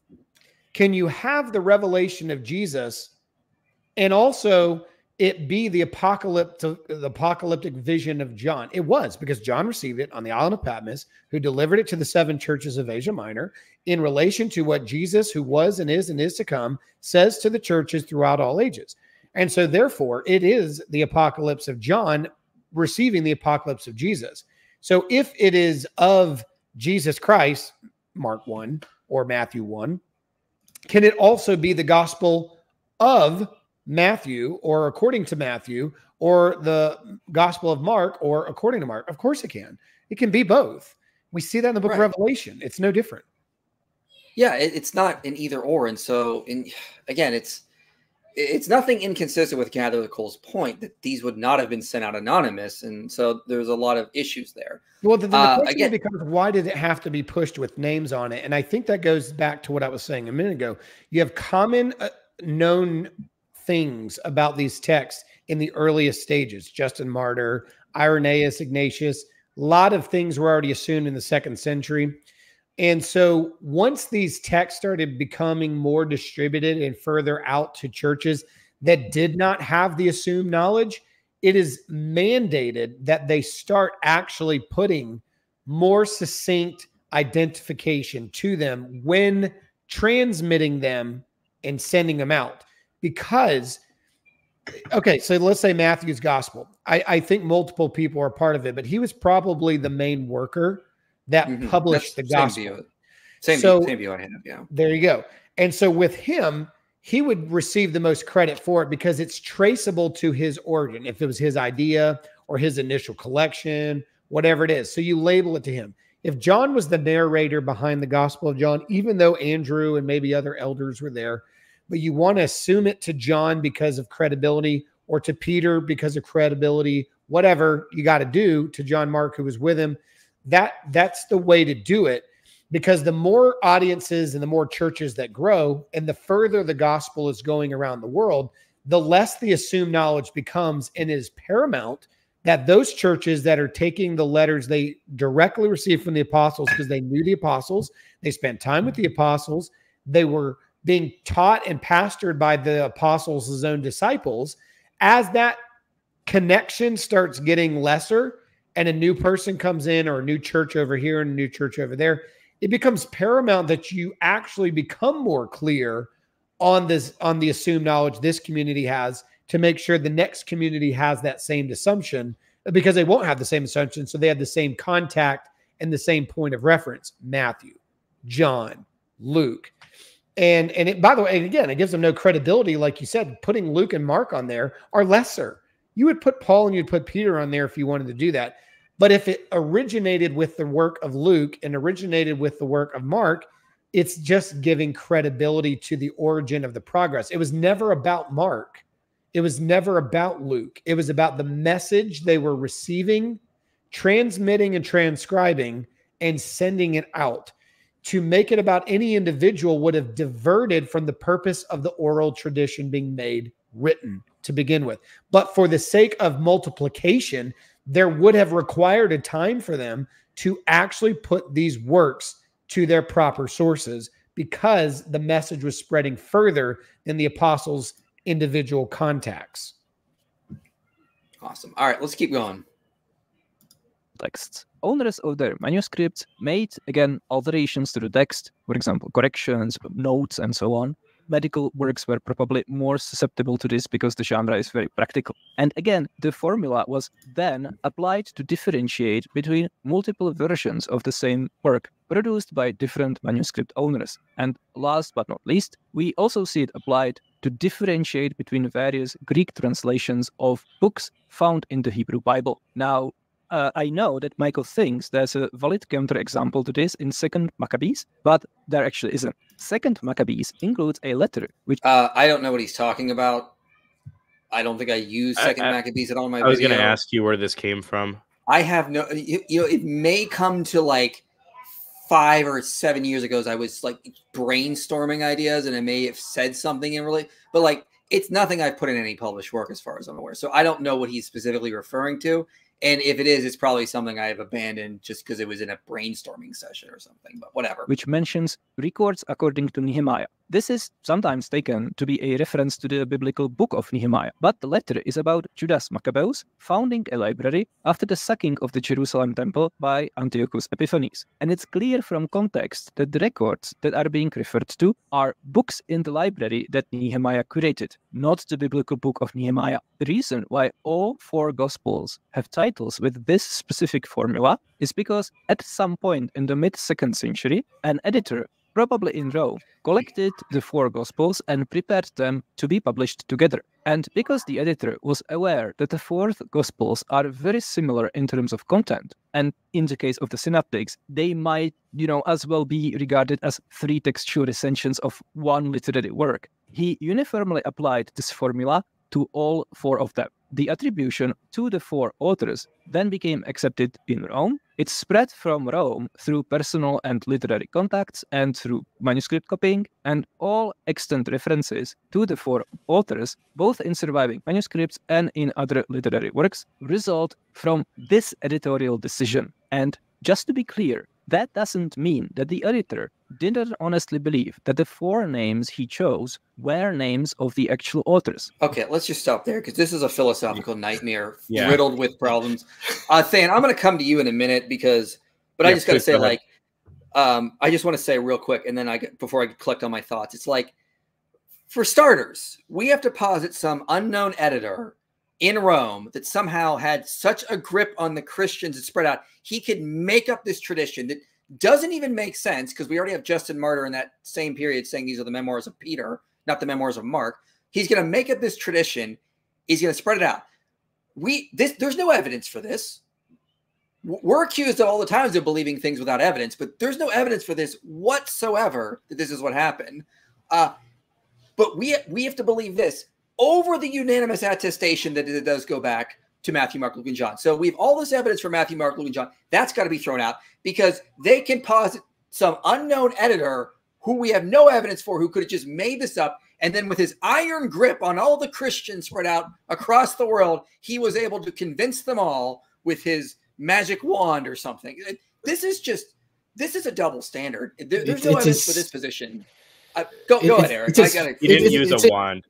It's the min- it's well, I mean, look look at the pen right there on the AI art. It's obviously, yeah, it's like a wand, like you said, Dan. Like, no, I agree. This is a bedtime story. This is a just so story. This is this is the textbook definition of a just so story. It's just like I made something up that's completely ad hoc, and this this explains away the data. You know, see you later, Christians. Check me. I mean, I don't think Kamil's like necessarily coming down on it as sarcastically as I'm making it here, but like, I mean, come on, like, I, I totally agree with you. Th- This is a just so story. It doesn't really explain the witness of other people, like you mentioned, Justin. It doesn't explain the witness of Clement of Alexandria, who he's later going to say somehow magically got this from Irenaeus, even though he, he said that he got it from an, uh, an ancient or a primitive. and elders, he's I got different and he's got different traditions than Irenaeus. He says the gospels that the Yeah. genealogies come first. So he's got different Right. traditions in it, but they're both agreeing on who the authorship is. Well, I think that would be the point is how in the world could one single editor universally dupe every church in the world that's at that time? Uh, you're you're telling me that one editor, let's just say he's in Rome, some editor in Rome, because let's just use Marcion because he tried to do stuff. You're telling me that he was able to dupe the churches in North Africa. He was able to dupe the churches in Alexandria. He was able to dupe the churches in Jerusalem and Antioch and dupe all the Eastern churches to come to the same conclusion, to accept those same four authors without any schism, without any split. Not a chance. The churches, they argued about a lot of things of practice. And your example, even on what way we should view the gospels based on uh, order and perspective. I mean, I have sitting on my desk over here a full facsimile of Codex W that I helped when working with the Smithsonian years ago. They re- they sent me uh, the, the facsimile that I have right here. If you look at the order of the Gospels in there, it's Matthew, John, Luke, and Mark. Um, and that's a, a fourth to fifth century manuscript because they placed the same idea that Tertullian and others did on the order of Gospels but they have the same four gospel writers that we're talking about too. So then the question then becomes who are these editors? Well, the, it's not it's not a question of this editor or did they exist. They were transcribers of these texts And what we start seeing is a heightened amount of manuscripts that do have the inscriptions. One, because we actually have manuscripts that survived more closer to that time than before. Two, because again, the churches need clarity as to the origin of these texts. And it would have been, if anybody started putting inscriptions for clarity on it, it would be the churches who are starting new churches and ordaining new bishops and new leaders in those churches to read these texts publicly and give the credible origins of each one. And it's more for the purpose of clarity than just let's figure out some names to slap on here and we'll go with it and everybody will believe it and everybody will accept it and that'll be the new thing no church would have accepted these kind of transmissions. No church would have accepted this kind of way of getting these texts out where one editor can dupe the entire world of churches. It would have never happened. Go ahead, Than. Uh, everybody said everything I wanted to say. so okay, yeah. I, yeah, I guess I just want to reiterate. I get, uh, we we are accused all the time that we believe in the traditional authorship. There's not enough evidence to confirm that. Well, I want evidence that this tradition actually started in Rome from some unknown editor that somehow got a grip on this and just spread it all out. There, there's no evidence for this. So if if he's allowed to posit that from no evidence, I don't see why I can't hold to gospel authorship Matthew, Mark, Luke, and John uh, when there's abundant evidence for this, or unanimous attestation to this. So again, this is just a double standard here. If you want to say that there's not enough evidence for our position, you can't be positing positions which there is no evidence for. So, all right, with that, I'm going to move ahead to the next time marker I have, which is at the 26 minute mark. Uh, and so let's do a couple more things here before I think Stephen and Eric need to check out. But let's take a look here. Look to the dedicatee. Okay, let me tell you an anecdote from Plutarch to make a point. When Julius Caesar was becoming increasingly unpopular, people in Rome started thinking. Real quick, he's responding to the point I made in my video about, you know, Luke would not send some sort of anonymous work to Theophilus. He's going to want to know where this came from. So obviously there had to be some sort of name attached to the gospel that Theophilus gets. So this is what Kamil's responding to.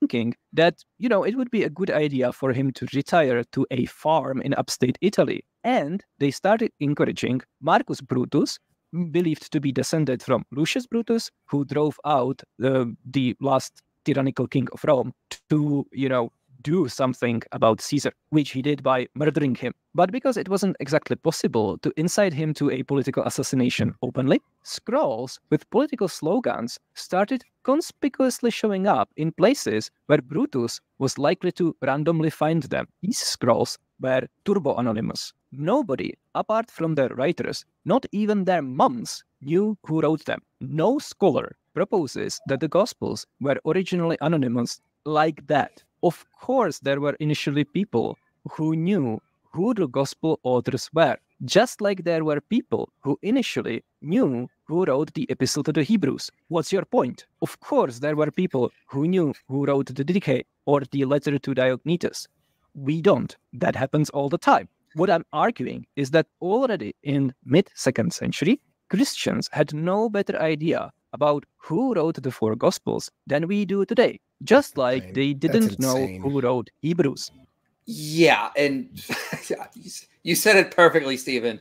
It doesn't even really address my point of when I brought up the fact that Theophilus would have got something, he would have known who the author was. But go ahead, Stephen. What? Well, I mean, what they didn't know any more than we do today. They knew the apo- these are the churches of the these these people are sitting in the churches the apostles started. These people knew. Polycarp knew the apostles, or particularly at least John. When you're talking about Ignatius, you're talking about uh, Polycarp, you're talking about Papias. You're talking about people that knew the apostles and not just knew them, even if you want to argue they didn't.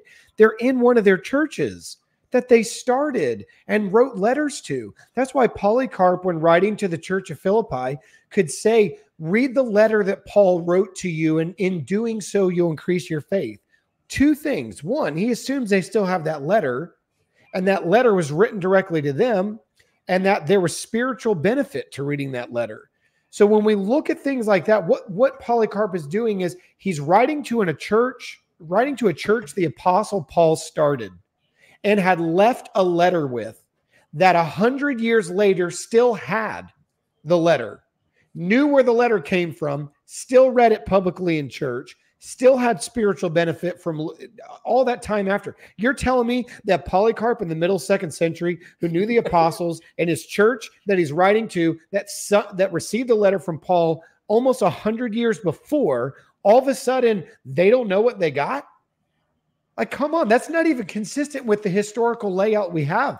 How in the world did they know they had a letter from Paul? Paul's been dead for 80 to 100 years by the time they're receiving this one. And how did Polycarp assume that they still had that letter in the church and that they could still read that letter and that they're still benefiting from that letter? Because the churches know what they got and who they got it from. And these churches were still around in the second century that the apostles started. And they're not just around, they're moving fast and they're growing bigger than they ever were when the apostles were alive.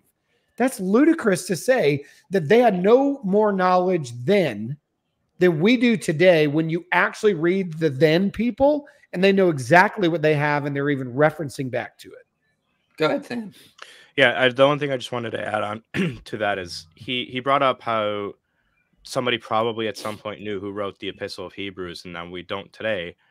But the thing that he doesn't mention here, this is one of like one of the textbook arguments you hear when it comes to gospel authorship, but it's the geographical spe- spread of the attestation, right? Like you have near unanimous disagreement among the early church on who wrote Hebrews, but you have mm-hmm. unanimous agreement on who wrote the four gospels among the early church.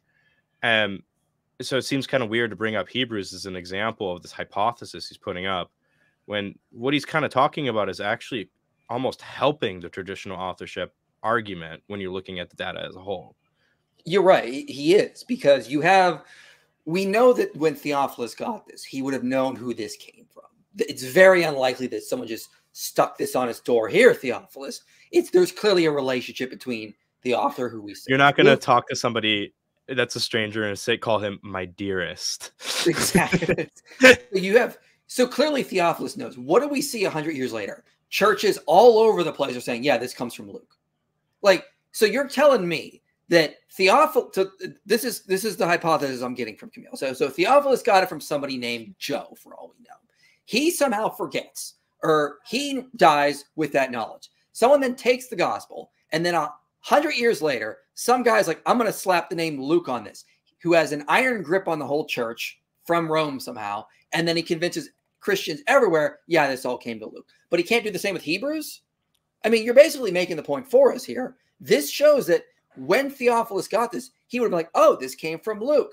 And what is the tradition that we see coming down later that's unanimously there? Yeah, this all came from Luke. There's no disagreement there. So this is again another example of shooting yourself in the foot. This does and not help us.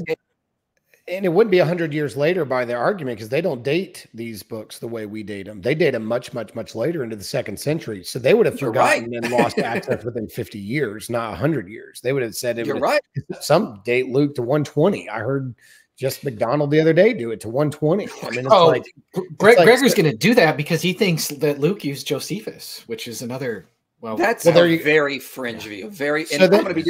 I'll so that's 30 years. upcoming video. Yeah. So that's 30 years. They forgot. They didn't even know within 30 years. I mean, so we're the insanity to me here, and I say that respectfully. I don't. I don't look down at these guys as ignorant. It's just, please help me help you.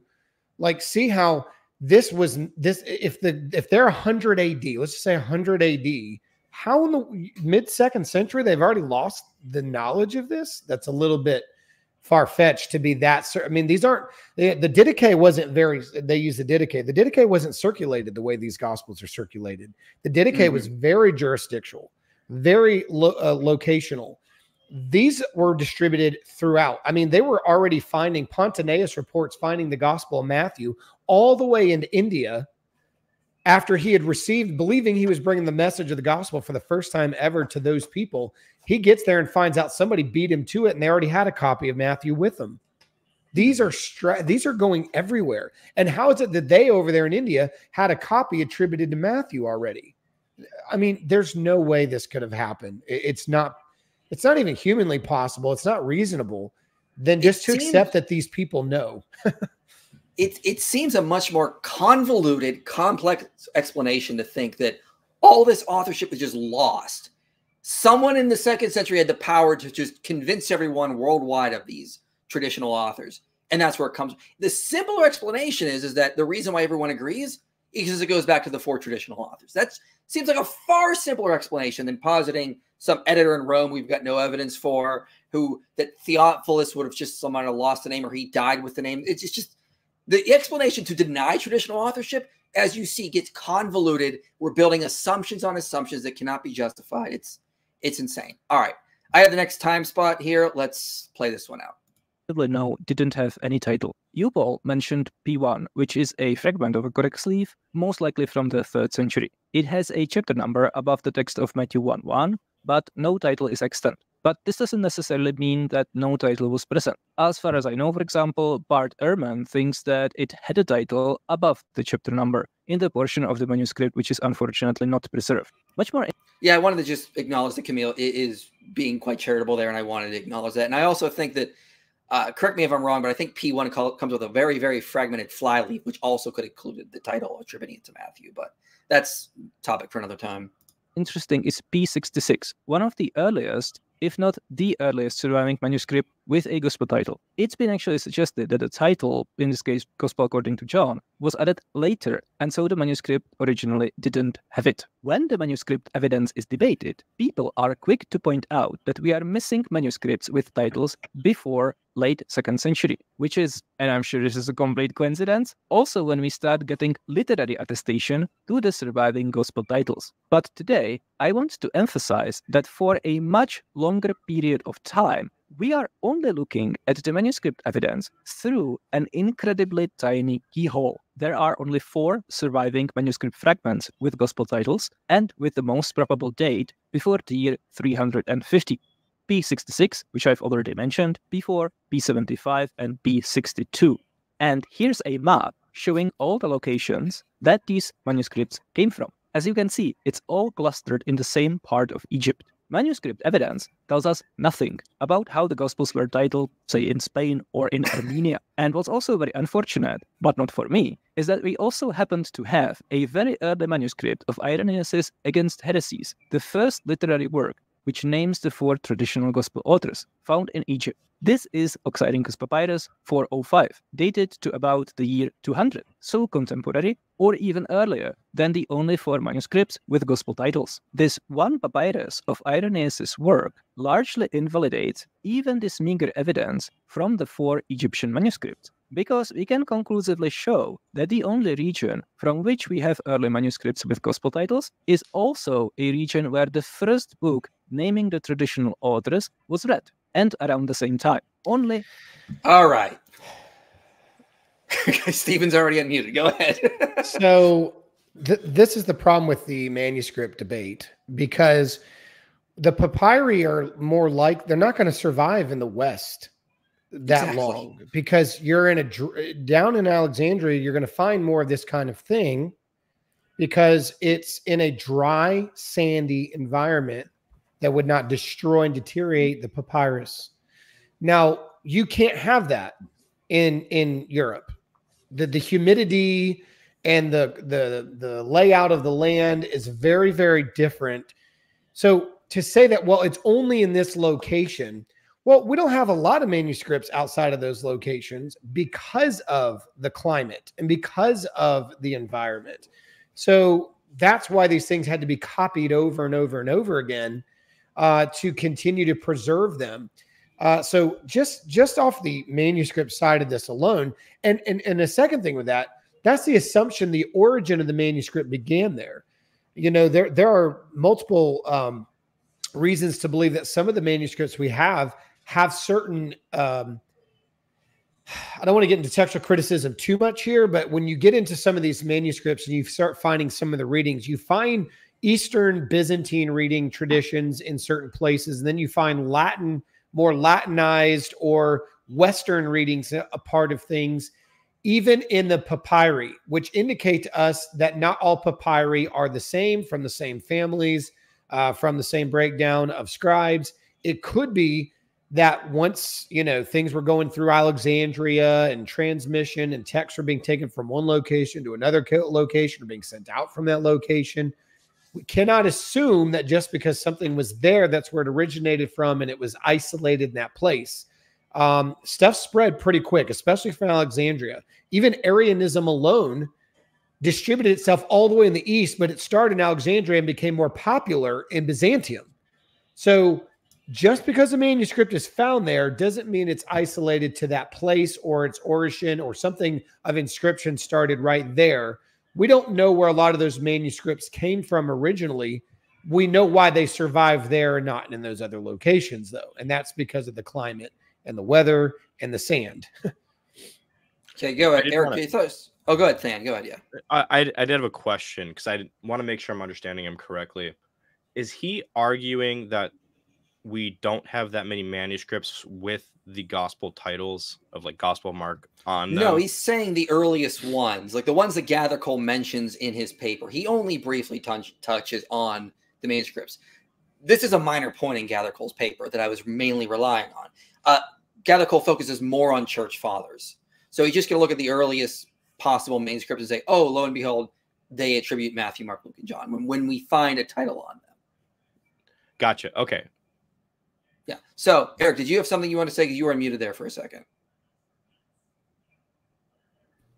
Yeah, I mean, I, I, I, could say something. I'm, I'm interested in hearing your take on this, Michael. But um, yeah. I mean, in one sense, I kind of get it. Like a lot of the manuscripts are coming from Egypt for the reason that Stephen stated.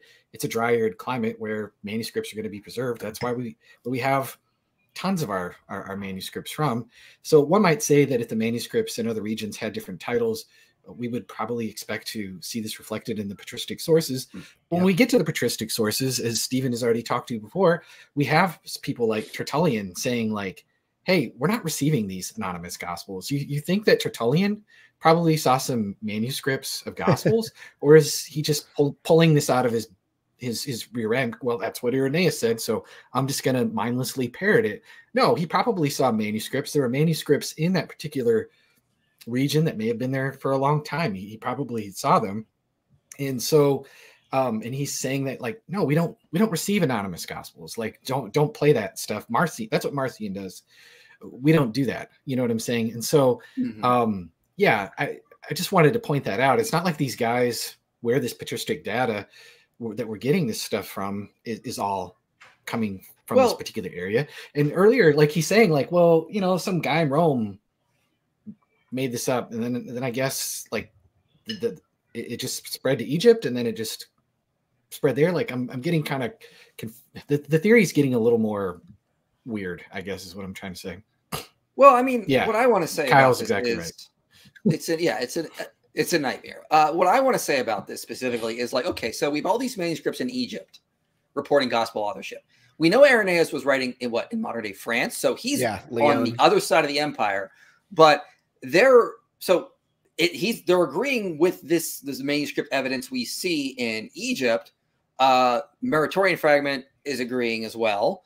Uh, again, Clement, yep. Yeah, and so Tertullian's agreeing. He's in North Africa. Clement is agreeing, but he has different traditions. He thinks that uh, he's disagreeing with Irenaeus on the order. He says that the Gospels with the genealogies came first. So we have a different order when it comes to that right there. So despite so what all Kamil is sort of showing is that there's just again wide agreement across the whole Roman world that the four gospel authors are Matthew, Mark, Luke, and John. How this is supposed to be a problem for us is beyond me. This is supporting our case. If he thinks that there were some manuscripts early on that were anonymous or had different authors attributed to them, produce the evidence. What you're basically admitting right now is when it comes to the early evidence, it's going to agree with our original point. Wide unanimous attestation the authors are Matthew, Mark, Luke, and John. None, nothing he says here works against that. So I don't even see why he would bring it up. I mean, the only thing that I'm seeing that he's trying to say, well, Irenaeus said this, and we know that there's a fragment of Irenaeus in Egypt, and so therefore Irenaeus like influenced all the attribution of the manuscripts that we have preserved in Egypt or something. And maybe I'm misinterpreting him there, but like again, that just strikes me as I don't know, weird, complicated. it's a it's a little it's a little bit speculative.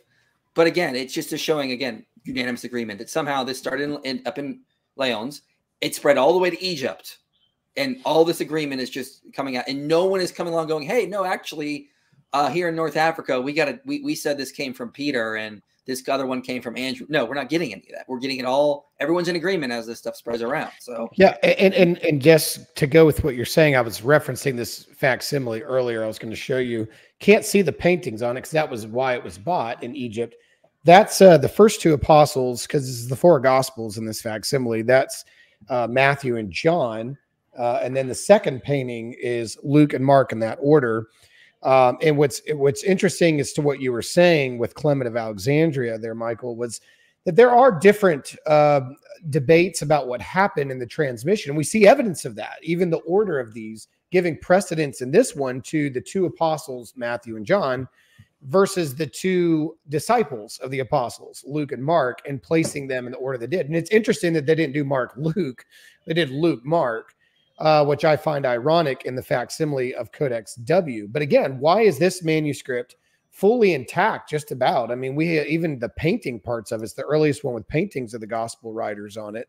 Uh, why did it survive this whole time? And it starts uh, with Matthew. You can read the cover very, very well on the front of Matthew 1. Why is it that this one survived, but we don't have something like this over in Byzantium or something mm-hmm. like this in Rome? Well, because this was in the desert area of Egypt and the others weren't. So to say, well, we only have a handful of manuscripts within these amount of years that have the inscriptions, it's like, man, we really don't want to get into how long we have to wait to start getting inscriptions on manuscripts because we have a lot of antiquity that's thousands of years removed from the original writings before we get these kinds of things like we see in the New Testament. We're closer in the New Testament to the original writings and sources of transmission of manuscripts that have survived antiquity than most Greco-Roman literature. So te- the fact that we even have anything in the second century at all is incredible. Yeah. When it comes to the Gospel of Matthew, I think that's being downplayed. Like, well, we only have a handful. That's more than we have with anything else. That's incredible that anything survived that long. Papyri, papyri was meant to survive 100 to 120 years. The the the actual material is only meant to last 100 to 120 years if it's handled properly and if it's taken care of. So the fact that we can read in full print stuff that's 1600 to 1800 years old and still translate from those manuscripts is incredibly awesome for us to be able to partake. Like, so to the point that it's trying to be belittled here, to me, it actually amplifies that we have a very credible source, both in transmission and in patristic.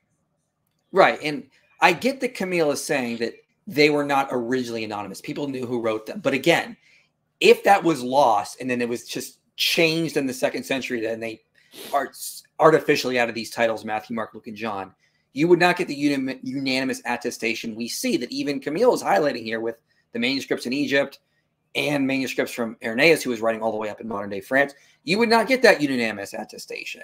Uh, it makes it's a much simpler explanation to say the reason we have unanimous attestation is because they went back to those four authors versus the idea they were originally not anonymous. Then they, the traditional authors were forgotten. That's when made it up, and he had used his iron grip on the church, the force. It's it's a convoluted explanation over the much simpler one. So, all right, with that, let's keep going. This is the next uh, timestamp I got reliability. Let's start with issues with independence. The four traditional gospel authors not only appear in titles of surviving manuscripts, but they are also spoken of by various ancient Christian authors. But to what extent are these attestations mutually independent? Is it really true that the same identification of the authors pops into existence separately all around the Mediterranean?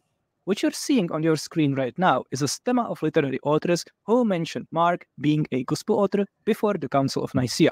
You, you know, the council which famously did not vote about which gospels should be included in the New Testament. That decision was actually made by an unknown editor in mid second century. And I'm showing the stemma of Mark because it's the earliest gospel and so it had the most time to accumulate attestation. As you can see, these authors are connected. They are connected either through literary dependence, for example, the anonymous work Refutation of All Heresies, falsely attributed to Hippolytus, quotes from Against Heresies by Irenaeus, or they are connected through discipleship. For example, Dionysius of Alexandria studied under Origen of Alexandria, and so on. To my knowledge, what you're seeing on your screen right now are all the known authors who identify Mark as a gospel writer in ante Nicene literature. Apart from these, the Markan authorship.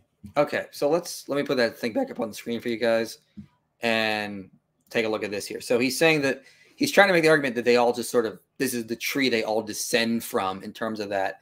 Um, a lot I want to say on this, but Stephen, you're unmuted. Go ahead. Yeah, that's that was because I just didn't hit mute. Sorry, but I'll, I'll, I'll go ahead and answer that anyway. So um, again, what are we, what are we dealing with here?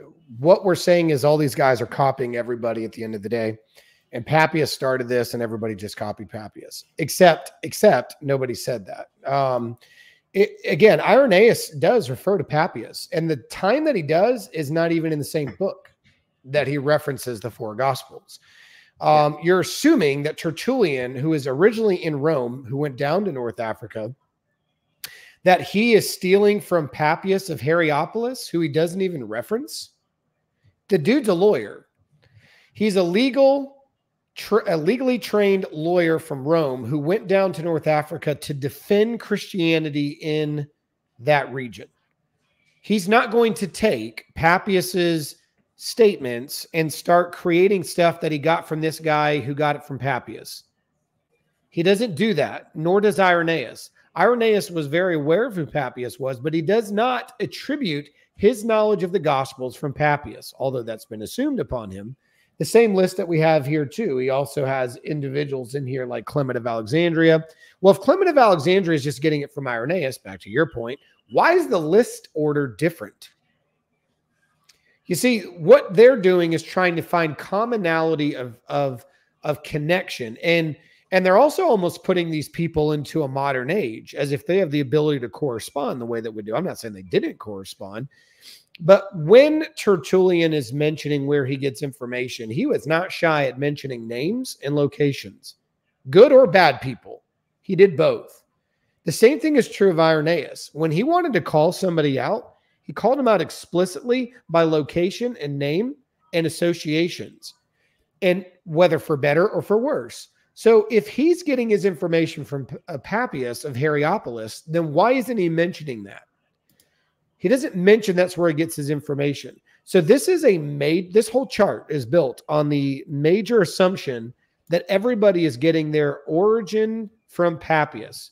But let's just say they are. Let's just say they are if Papias is a hearer of John, and Papias knew the living and abiding voices, those that were with Jesus, and we only know distinctly of two gospel names by hand that he uses, Mark and Matthew. We assume he's familiar with the pr- prologue of uh, Luke based on things that he says, and we assume that he's familiar with John based on the names of the disciples he lists.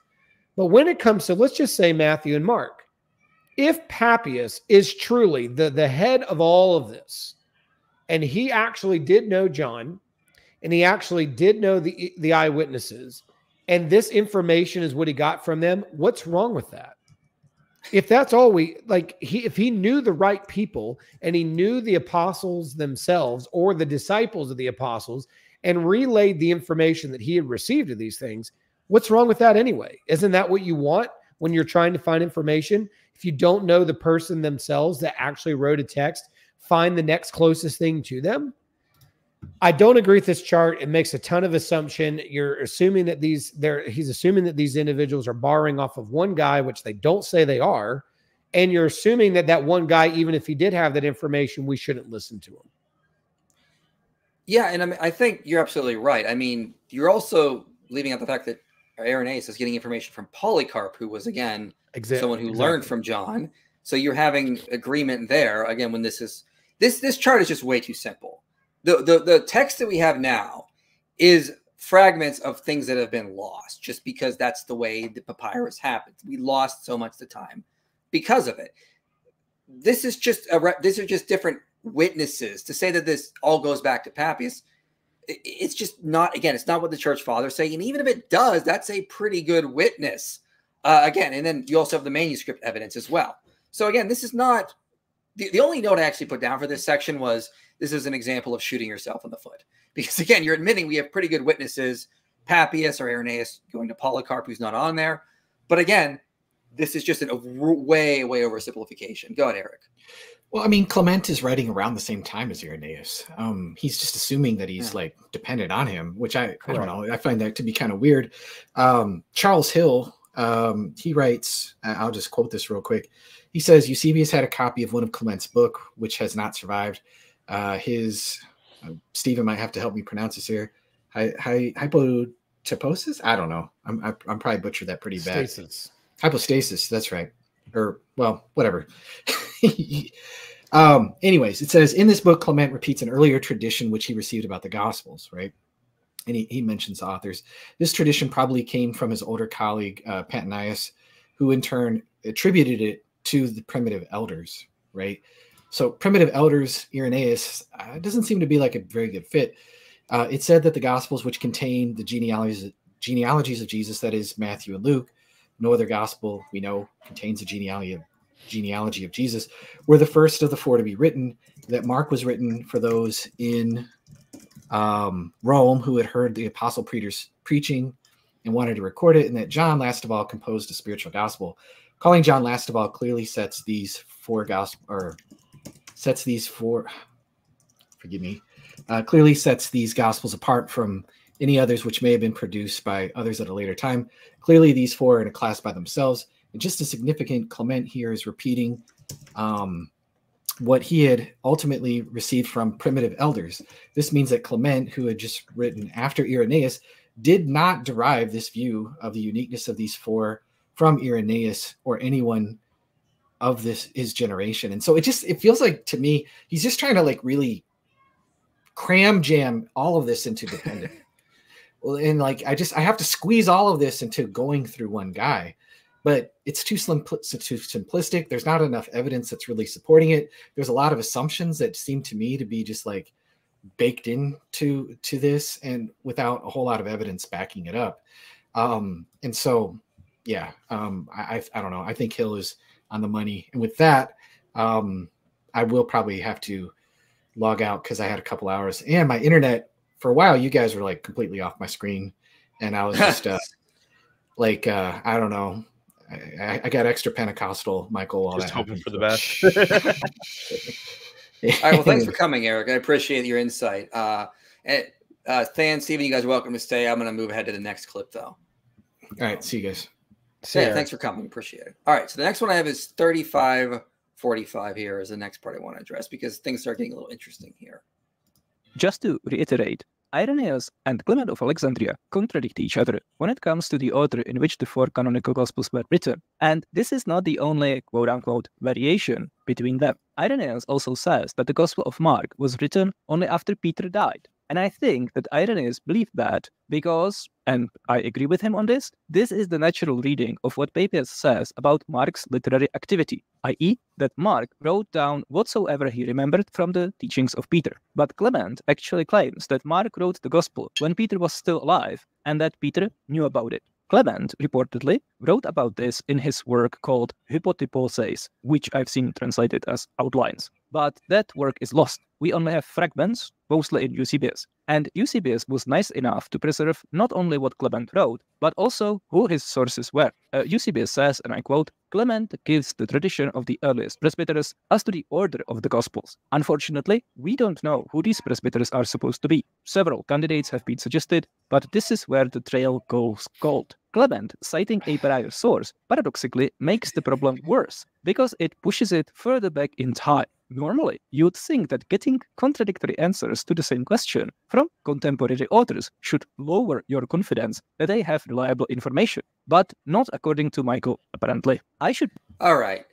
This, again, another example of. yeah. Well, I'll get to you in a minute here, Stephen, but this, this this apparently is supposed to lower our confidence in the gospel authorship. This was a very point I brought up. This was the very point as I point I brought up to argue that we can be more confident in the traditional authorship. Why? Because they have different sources. He just made the case they're all getting this information from Papias. But now he's arguing they all contradict each other. Right. Okay. That would suggest they're getting their traditions from other people than just one guy, who, Papias, who apparently made this all up. Uh, so which is it? Did they just are they just all copying Papias or are they contradicting each other because they're getting information from other sources? You can't have it both ways. And the reason why I brought this up in my original video was because this helps raise the probability the, the gospel authorship, the traditional authorship is accurate. Why? Because if you've got a bunch of different witnesses and they disagree on where gospels were written or when they were written, or who was entirely, you know, like what were they doing at that time. But they still agree that it's Matthew, Mark, Luke, and John. That's going to raise the probability. If I'm interviewing a bunch of eyewitnesses to a crime, and one guy says he wore a red hat, one guy says he wore a blue hat, but they both agree he was Caucasian. I may not know the hat, but I know he was Caucasian because they're going to have, there's a point of agreement there with multiple attestation. So again, this is another example of shooting yourself in the foot. If they, if these later church fathers disagree about when they were written, but they still agree that it goes back to Matthew, Mark, Luke, and John, that's going to make it more probable. Yeah. So that was the question. Uh, uh, are they contradicting or copying? because you know a minute ago they're all copying each other and if you're going to copy each other and you're all supposed to have the same narrative and same speaking lines you should have the same everything the fact is they have variations and traditions of how it happened not who wrote them. And so this goes back and i've got the quotes here. Irenaeus said that wherefore also mark the interpreter and follower of peter. He's not denying whether or not peter's still alive or not. He acknowledges he knew Peter. And whether or not his tradition was that Mark published it after Peter died or right before, or whatever, he doesn't say, it doesn't even get into any of that. It's just that he was a follower of Peter and he interpreted what he said. Here's where they are consistent. So Clement does say Mark wrote Peter's teaching while Peter was alive. Mm-hmm. Peter didn't urge this or forbid it. It does not say that he published it says that he wrote it. So it, when and where that part gets a little bit um, debated, but they're not even contradicting each other that much here either. They're just focusing on different aspects of it. Now, remember, Clement of Alexandria is in John Mark's church. So we got to talk about that perspective of all right, where is Clement getting his information about the Gospel Mark? Well, we're being told it's from Papias. Well, that's not true.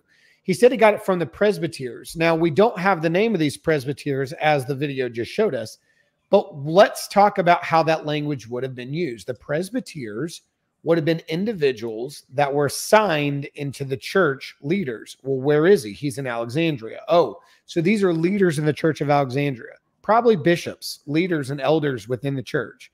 How did they get their information? Succession, because they're in the succession line to who? Oh, it just so happens to be John Mark who started their church. And so John Mark starts the Church of Alexandria. He leads his successors there, and they continue on his traditions and texts. And Clement of Alexandria, just a few years after John Mark, is now telling us about how the Gospel Mark was published and in what way it was done. Peter didn't necessarily want to do it, but he wasn't opposed to John Mark doing it. And where would he have gotten that information? That does not correspond with Papias' story of how Mark began. He does say Mark was an interpreter of Peter. He does not say anything about Peter's perspective of him doing that. Why mm-hmm. is it, and where would that extra information have come from? It would have come from the presbyters that he knew. Who were they? Probably the bishops in the Church of Alexandria who were in succession to John Mark, who would have carried John Mark's tradition and passed it down to their next successors. That's the difference here. So no, they're not borrowing from the same source, and I don't even think they're contradicting. I think they're focusing on different aspects of its development. But the who is the same in all of it. Than, did you want to add anything? I saw you were unmuted there. Yeah, no, I Stephen said everything I wanted to say. Man, I you know what? I'm on, honestly one. look, look, I'm fine with it because Stephen, you're you're this is your wheelhouse. So I'm fine just chiming in here and there after. It's all right. I'll be gone in 15 minutes. It'll be all you, Than. all right. All right, let's move ahead to the next one because I think that was pretty much addressed. Uh, let's go here. Data. We see unanimous consent that the four gospel authors are Matthew, Mark, Luke, and John. No one ever claims another author for the four canonical gospels, and no one ever suggests the gospels were understood as anonymous. See, it's not actually true that the attestation is unanimous. In the case of the Gospel of John, we see at least four different candidate authors the question of its authorship is inseparably tied to the question of the identity of the beloved disciple. You know, the disciple who testifies to these things and has written them. Most Christians today seem to accept that the author is John, son of Zebedee. This identification is first made in mid second century in the apocryphal Acts of John, maybe. And I say maybe because the identification is only made in a speech given by John, reserved in one late medieval manuscript. Where it appears among various other writings. And it's actually not clear whether it's an original part of the Acts of John, and it's not even clear where it's supposed to fit in the Acts. Some modern scholars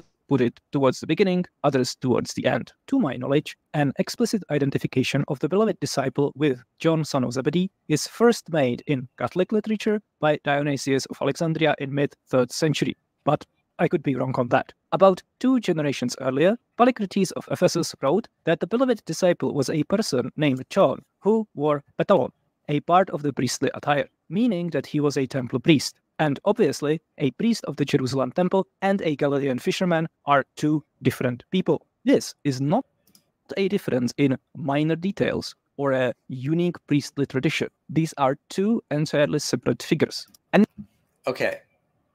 So with that, I don't think Kamil's aware that I have been vocal. I agree with Richard Bauckham on this that the author of the Gospel of John was not John, son of Zebedee, but John the Elder, who Papias identifies. Uh, so, but again, this is irrelevant to the main point or Gathercole's point. Who was the author of the Gospel of John? It was John, a disciple of Jesus. Whether that was John, son of Zebedee, or John the Elder, I don't think that's a problem for Christians or people mm. who hold the traditional authorship because we can say, yeah, it was John, a disciple. There were multiple Johns. There were multiple disciples of Jesus. Some of them probably shared the same name. We know that some of them shared the same name. It's not going to bother me if it's going to be John the Elder or John the disciple, specifically the son of Zebedee. It was John, a disciple of Jesus, an eyewitness of Jesus, someone who learned directly from Jesus. That's the that's the whole point of that. Whether it was, and, and again, I, I when I read Bauckham, I was actually kind of convinced of his arguments, and I lean that direction anyway. So I don't see why this is a big issue for me. It's still John, a disciple of Jesus, someone who saw and talked with Jesus. Go ahead, Than Yeah, yeah, no, I like for me personally, I'm still trying to figure out which John it is. I'm that's kind of like laying on my cards on the table. That's where I'm at. But what you just said, Mike, is on point. It's on an evidential va- on like on an evidential scale of like the value of the Gospel of John. Either way, it's a disciple, right? And somebody that we can trace back that is close to the times and places of the life and ministry of Jesus. That's why we care about the gospel authorship. Um, the next thing I just really wanted to point out is he's kind of just.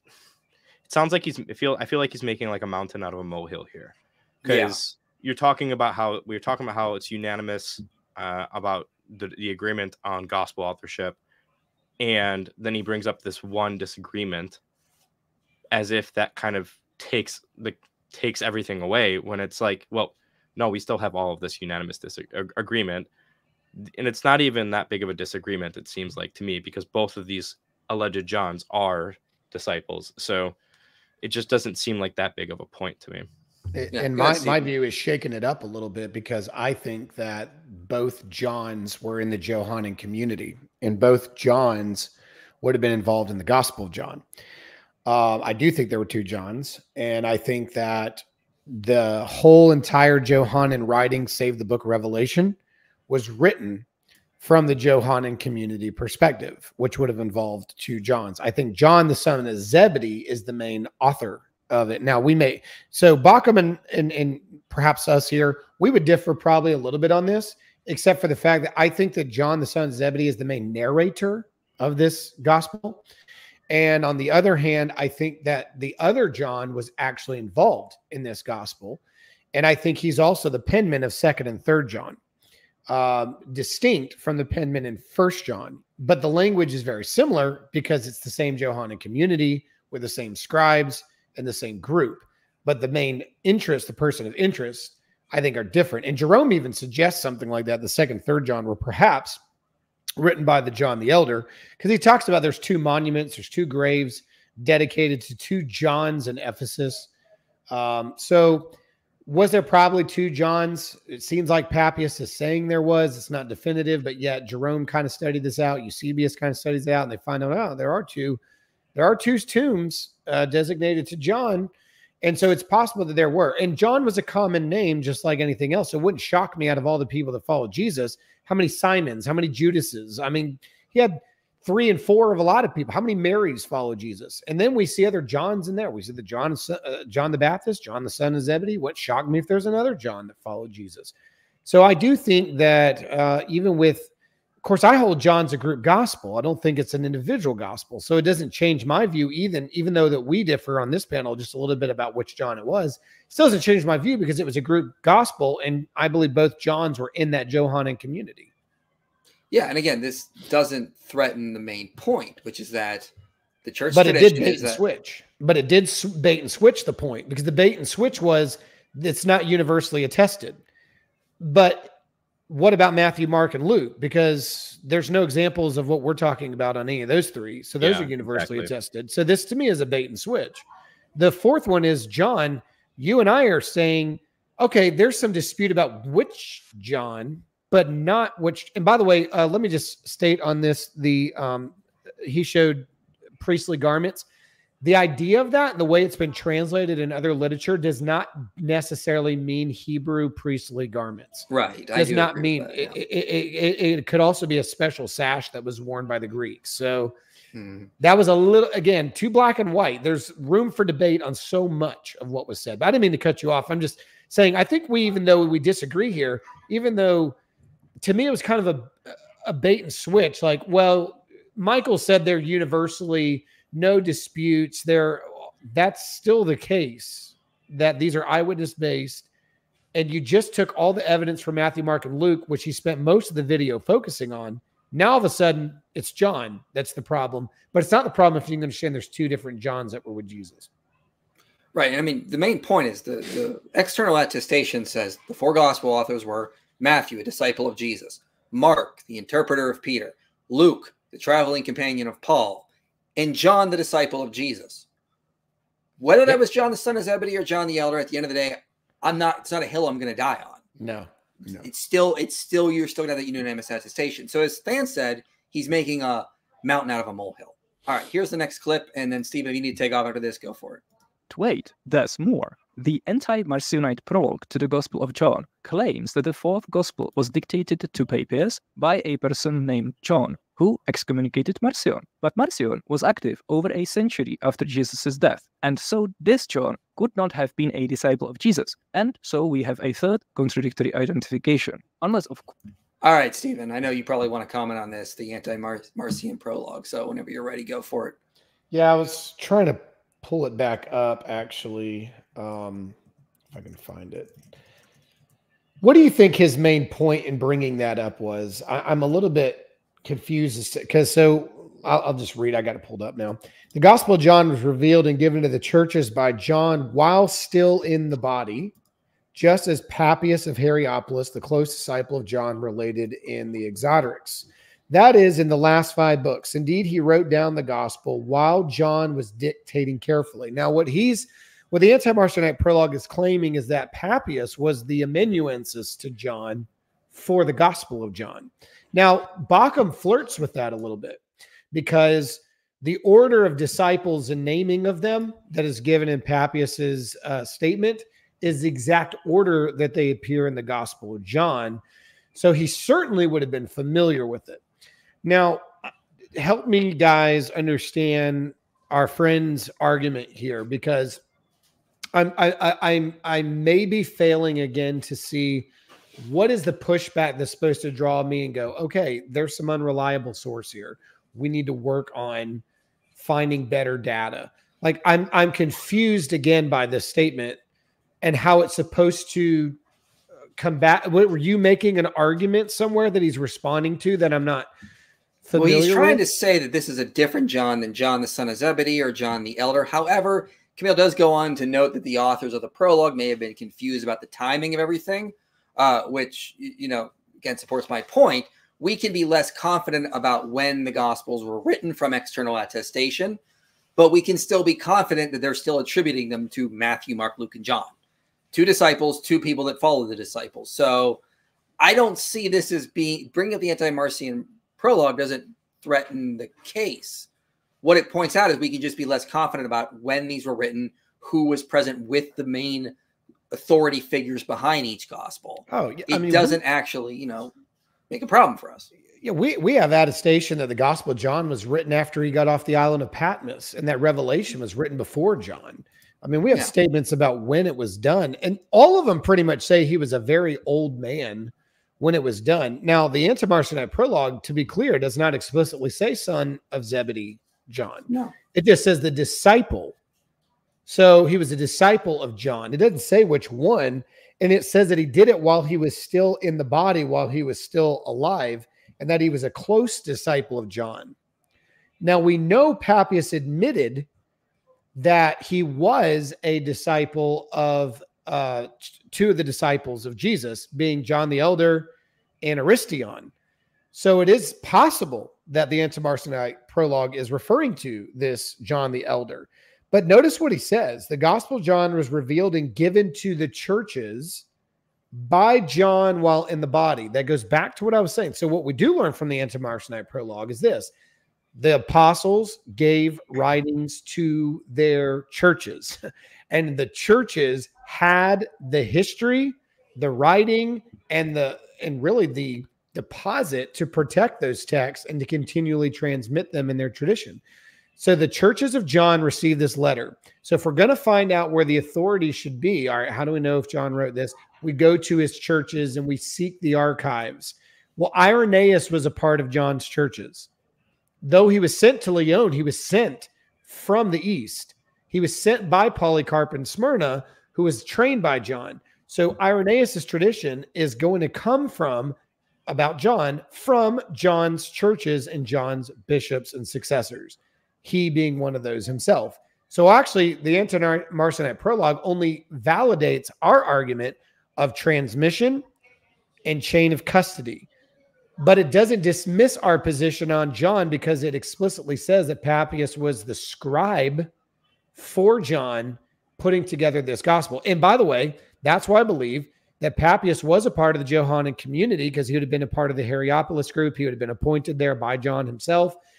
It's very likely he would have been in the room when this was going on. So I actually hold the position that perhaps Papias was one of the scribes working on the Gospel of John within the Johannine community, putting it together. Yeah, and I'm definitely in favor of that view as well. But again, this doesn't create a problem. It's still John, which it says the disciple of Jesus, which is Correct. all Gathercole, Mike Licona, Martin Hengel have, have argued in the past, or Brant Pitre, you name it. They're not saying that we can therefore say that we can know specifically which John it was who was a disciple of Jesus. They're just arguing that it demonstrates it was John, a disciple of Jesus at the end of the day. All right, let's Yep. move on to the next clip here. I've got to head out, guys. Apologies. It was fun. You got to head up. Appreciate Yeah. it. Thanks for coming. Yeah, I was able to stay a Dan and little I- bit longer than I Catch you later, thought. Awesome. All right, Good we'll work, see you later. gentlemen. See you. Epiphanius and Philastrius claimed that they were Christians, called the Alogoi, named after their rejection of the Logos theology. They maintained So th- this is him. Uh, this is just a everyone update. Kamil is arguing uh, for another alleged author of the Gospel of John. So this is a very late one, though, which is going to be a very relevant point here. Christians, called the Alogoi, named after their rejection of the Logos theology. They maintained that the Gospel of John and the Revelation of John were written by a heretic named Cerinthus. Cerinthus lived in late 1st and early 2nd century and seems to be one of the earliest known interpreters of the Gospel of John. Now, there's some debate about whether the Alogoi actually existed. You know, these kinds of neat divisions of heretics into distinct sects is in many cases just a construct created by the heresiologists.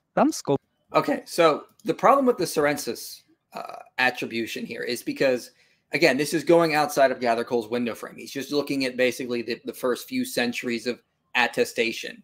I mean, if you're going to include, you know, Epiphanius talking about these much later heretics, you might as well include Augustine mentioning Faustus, who says the Gospels, who doubts the entire traditional authorship much later to begin with. But Gathercole was focusing on the earliest attestation, and plus, like as even um, Kamil admits, this is an unre- unreliable idea. We're not even sure if this group even existed.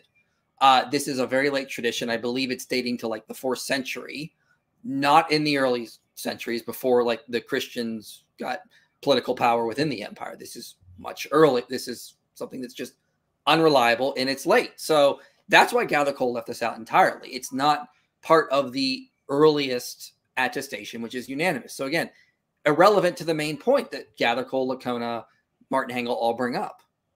Um, for people that want to know a little bit more on the Alogoi group objection to the Gospel of John, um, I have a stream that I did with somebody named Bram Rawlings. Uh, it's titled "Who Wrote the Gospels," and we cover that objection pretty in depth at around like Yeah. the one hour and fifty minute mark. So go check that out because I don't remember what I what we all said there. If you, the top of my head. Than, if you give me a link, I'll put it in the video description below when we're done. Okay. So just give me a link and I will drop it in there so people can just easily click on it after. But yeah, I mean, again, th- this is a very, very late attri- attribution. I- it's not something that Gathercole included in his paper because it's not a, it's not coming directly from the heretics itself. It's coming from, you know, writers like Epiphanius, who we know made a lot of errors when he was writing about these alleged heretical groups and these alleged pagan beliefs and you name it. So, and it also comes the, from the fourth century. So this is why it's not included or is, is accepted as a reliable tradition that there really was this early group in the second or first century attributing the Gospel of John to someone else. Uh, so again, not even sure why he brought this up. All right, so let's move ahead to 47. Uh, 35 is the next time marker I have here. And um, as we continue through this stream, the time markers are going to get a little more spread out because, again, Kamil goes down a lot of rabbit holes. I don't have time to address literally everything. I'm just trying to hit the main points.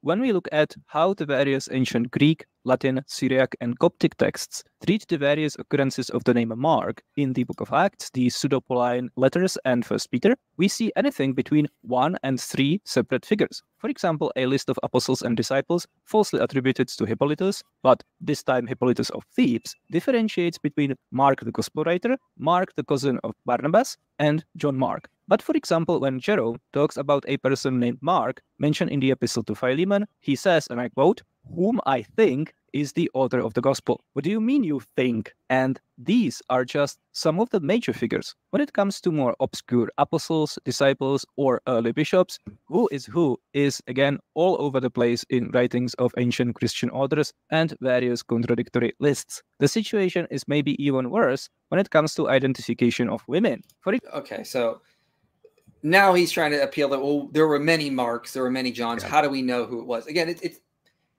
again the argument we're making is the external attestation says it was Mark the interpreter Peter, whether it was John Mark or some other Mark.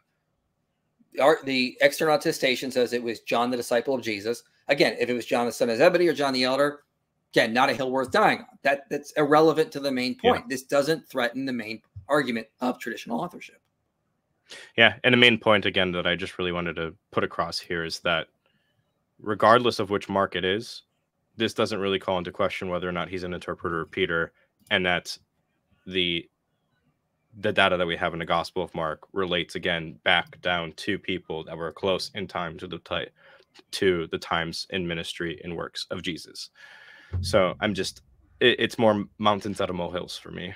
It, it, you're right. It's mountains out of molehills, and again, this the, not, the problem with a lot of his arguments is they've not threatened traditional authorship, and to take his view that they were originally known and then the original authors were somehow lost, and then someone made it up in the second century, forced it on them, and then it somehow just took hold like wildfire is a much more convoluted explanation than it just goes back to Matthew, Mark, Luke, and John. Like it's a much more convoluted argument. example, conservative Christian scholar Richard Bauckham, whom Michael mentions, argues that the author of the Gospel is not John, son of Zebedee, but a different disciple of Jesus, also named John, and that many early Christian writers who identify the Gospel author as John actually mean this different John. For example, and contrary to popular belief, Irenaeus doesn't identify the Gospel author with John, son of Zebedee. He calls him an apostle, but that doesn't narrow it down because And I, I just wanted to play that point because, again, I don't think Kamil knows my position well. Uh, nowhere did I make the case that it was necessarily John the son of Zebedee in my video. I mean, I was on, I believe, your channel last year when we were responding to Captain Dadpole, and I said, yeah, I believe it's John the Elder. So it's like, I again, I don't, I don't see this. Yeah. This is another example of mountains out of molehills here. All right, I'm gonna move ahead to 55 because again, I want to. We're gonna getting closer to the end, and I just want to sort of get there. So 5504, and we will be wrapping up soon because we've addressed a lot of the main points.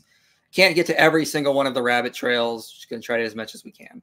Can you show me any work from antiquity that was attributed to so many different authors so soon, and yet scholars are still confident that we know who wrote it? I don't know any. Michael implies that scholars who don't subscribe to the traditional gospel authorship engage in some sort of double standard because other works from antiquity that are considered authentic have their authorship attested less well. As Michael Licona says, the best source attesting Plutarch's authorship is the Lamprias catalog, written more than a century and perhaps more than two centuries after Plutarch's death. Okay, so real quick. Uh Than, did you want to say anything on this before I go? Because I want to say Uh, my whole point is the evidence. Yeah, sometimes scholars can have a double standard. I did a whole video titled "Are Christian Scholars Biased?" You remember that video? Yes, I do. And I, I base research shows there's something called Christianophobia in academia. This is not coming from me. This is coming from actual studies that have been done that there is an anti-Christian bias sometimes in academia that does lead to this type of double standard. And you know, people like you and I are sitting here going, scratching our head, going, "We have so much attestation for the gospel authorship. Why are people doubting this?" And yet they're going to accept, just say, "Yeah, oh, those are the lives of Plutarch right there. Those are the lives of Plutarch." Everyone knows it, it it can very well be a double standard. But look, at the end of the day, I'm just trying to the video he's responding to. I was just trying my hardest to focus on the actual evidence of traditional authorship. Trying to then poison the well here by saying that, oh, whoa, is he really going to say this about scholars? Well, if the Yeah, shoe exactly. fits, if the shoe fits, I don't know what to tell you. And we'll get to something later, but I do think there there's a good example of some bias that does come up, like when they accuse Matthew of claiming Jesus rode two donkeys into Jerusalem. I'm sorry. Yeah. If you think Matthew actually wrote that, I do not think you're reading the gospel fairly. No, no, you're not. And look, look I, I think you hit the nail on the head with the whole poisoning of the well thing because th- this happens a lot with, it, at least in my experience, it happens a lot with counter apologetics. A lot people just be like, "Oh, you just think all the scholars are wrong, or you just whatever," and it's like, yeah, I do. I I, I, I I'm very outspoken about how I think there's huge epistemological issues happening in oh, biblical yeah, scholarship. for sure. it- it's it, it's yeah i'm happy saying that and i'll stand on that flag and i will show the epistemological issues like i what's the issue Absolutely. And yeah, that's something I completely agree with here. I mean, yeah, there, there definitely is some sort of weird standard going when it comes to the gospels that they're always assumed guilty until proven innocent. But we Right. don't do that with Tacitus. We don't do that with Plutarch. I'm not saying that means you have to accept everything in the gospels, but it doesn't seem like the principle of charity is applied, which is I think is a huge problem in, in scholarship. And Yeah. you know, here's something else, another analogy I'll make is that look, I have been doing a lot of videos on the documentary hypothesis in the Old- for the old for the Pentateuch. When you start going through the scholarship on that, you're you kind of scratching your head, going like, "There's a lot of just like assuming the documentary hypothesis, not actually arguing for it, and the evidence for it is really few and far in between." A lot of the uh, connections that Gen- the authors of Genesis are making in this unified narrative are just flat out ignored. A lot of the counter arguments against the documentary hypothesis are ignored. For example, uh, uh, Joshua Berman in his book Inconsistencies in the Torah uh, wrote about how long ago Gordon Wenham critiqued the documentary hypothesis uh, for the flood account. And he got like one reply, and most of his critique was just entirely ignored. And he's saying, look, there's just a, Berman's basically saying there's a lot of just presupposing the documentary hypothesis is true and ignoring criticisms and moving on. That's not coming from me. That's coming from scholars like, again, Joshua Berman, um, the authors of the book uh, Exploring the Composition of the Pentateuch, Georg Fischer, for example, in there. So you definitely do get bias in scholarship. There's no doubt about that. I think the documentary hypothesis is just sort of like assumed half the time, even though the evidence for it is riddled with problems. The whole hypothesis is just when you start diving in, it just collapses entirely. And I've done replies to Joel Baden for people in the comment section, and I'm going to be doing another reply to him on the different naming of Israel uh, coming out. I think probably not till March or something, but yeah. So there's a lot there, but yeah, let's keep going. Additionally, it is falsely attributed to Plutarch's son. Still, no one questions Plutarchian authorship. I argue that the actual situation with gospel authorship is in fact precisely the opposite of what Michael says. Authorial attribution of extra biblical works is routinely rejected because of much less severe issues than what we see with the Gospel of John. For example, scholars reject that Plutarch wrote the Lives of the Ten Orators, even though it is included in the Lamprias catalog, which Licona claims is the best source for Plutarchan authorship. And why do these scholars reject it? Well, it's based on exactly the same methods, which lead critical scholars to reject, for example, the authorship of the Pseudo-Pauline epistles. And just to be clear, I'm not arguing that the Gospel of John was actually written by Apostle Cerinthus, although he would, of course, be a much more plausible author than a Galilean fisherman. Rather, this highlights that second century and later Christian writers didn't have a very clear idea where these texts came from, and that any particular identification of the author is just a theory, a Bible theory. So, um, Stephen addressed this earlier when he said that's absolutely insane. The second century church fathers had plenty of good evidence, far more than we had to accept traditional authorship, especially when you look at the chain of Irenaeus going through Polycarp, who was taught by John, that kind of thing. Uh, but his analogy with the the Lamprias catalog, mentioning one life may not be attributed to Plutarch, is not really a good analogy to this argument because, sure, we can accept that maybe one of the lives put in there, or maybe a couple, weren't actually written by him. I would disagree with that. I think there's probably some issues with regards scribe on there, but I could be wrong. Not a hill worth dying on. The point Licona was making is that no one's going to doubt that the majority of the lives that we have are going to go to Plutarch, not his son, even though the Lamprias catalog says it was written by his son. Just because maybe like one or a couple might be Fords that have been included, that's not going to change the overall argument. People are still going to recognize this corpus goes back to Plutarch. You could make the same case with Paul's letters. People can say, like, oh yeah, you know, a lot of people doubt first and second Timothy and Titus, but they still recognize that the corpus of Paul letters goes back to the historical Paul. No one doubts that. Uh, same with uh, the lives of Plutarch. So the reason I brought that up in my original video was basically like, look, when we have all this external attestation, we don't doubt it. For example, with Plutarch's lives, even though maybe one life, one of the, the life he mentioned there may not may have been something that was forged or added later, it's not going to cause us to doubt that all the lives are not going back to the actual historical Plutarch. Likewise, we're not going to do this with the Gospels. We're not going to just, when we have unanimous attestation here, why would we doubt that either? Yeah, and I, I just he, if I'm understanding him correctly, um, he's trying to just call into question like the sources of the early church, right? And I just wanted to read Eusebius's Historia Ecclesiastica. Like he says this about Papi, like quote talking about Papias, and he says, um, and whenever and whenever anyone came down who had been a follower of the elders, I asked about their words, what Andrew or Peter had said, or Philip or Thomas or James or John or Matthew or any of the Lord's disciples, and what Aristion and the presbyter John, disciples of the Lord, this is the part that's really important, were still saying. In other words, like P- Papias had direct acquaintance with these sayings at the time. So I'm just not entirely sure how we can just say these are completely unreliable or these are made up stories from second century people. Well, I mean, I'm, it's yeah, it's a double standard. He, the, we can't trust these early witnesses, even though they all agree on this one point.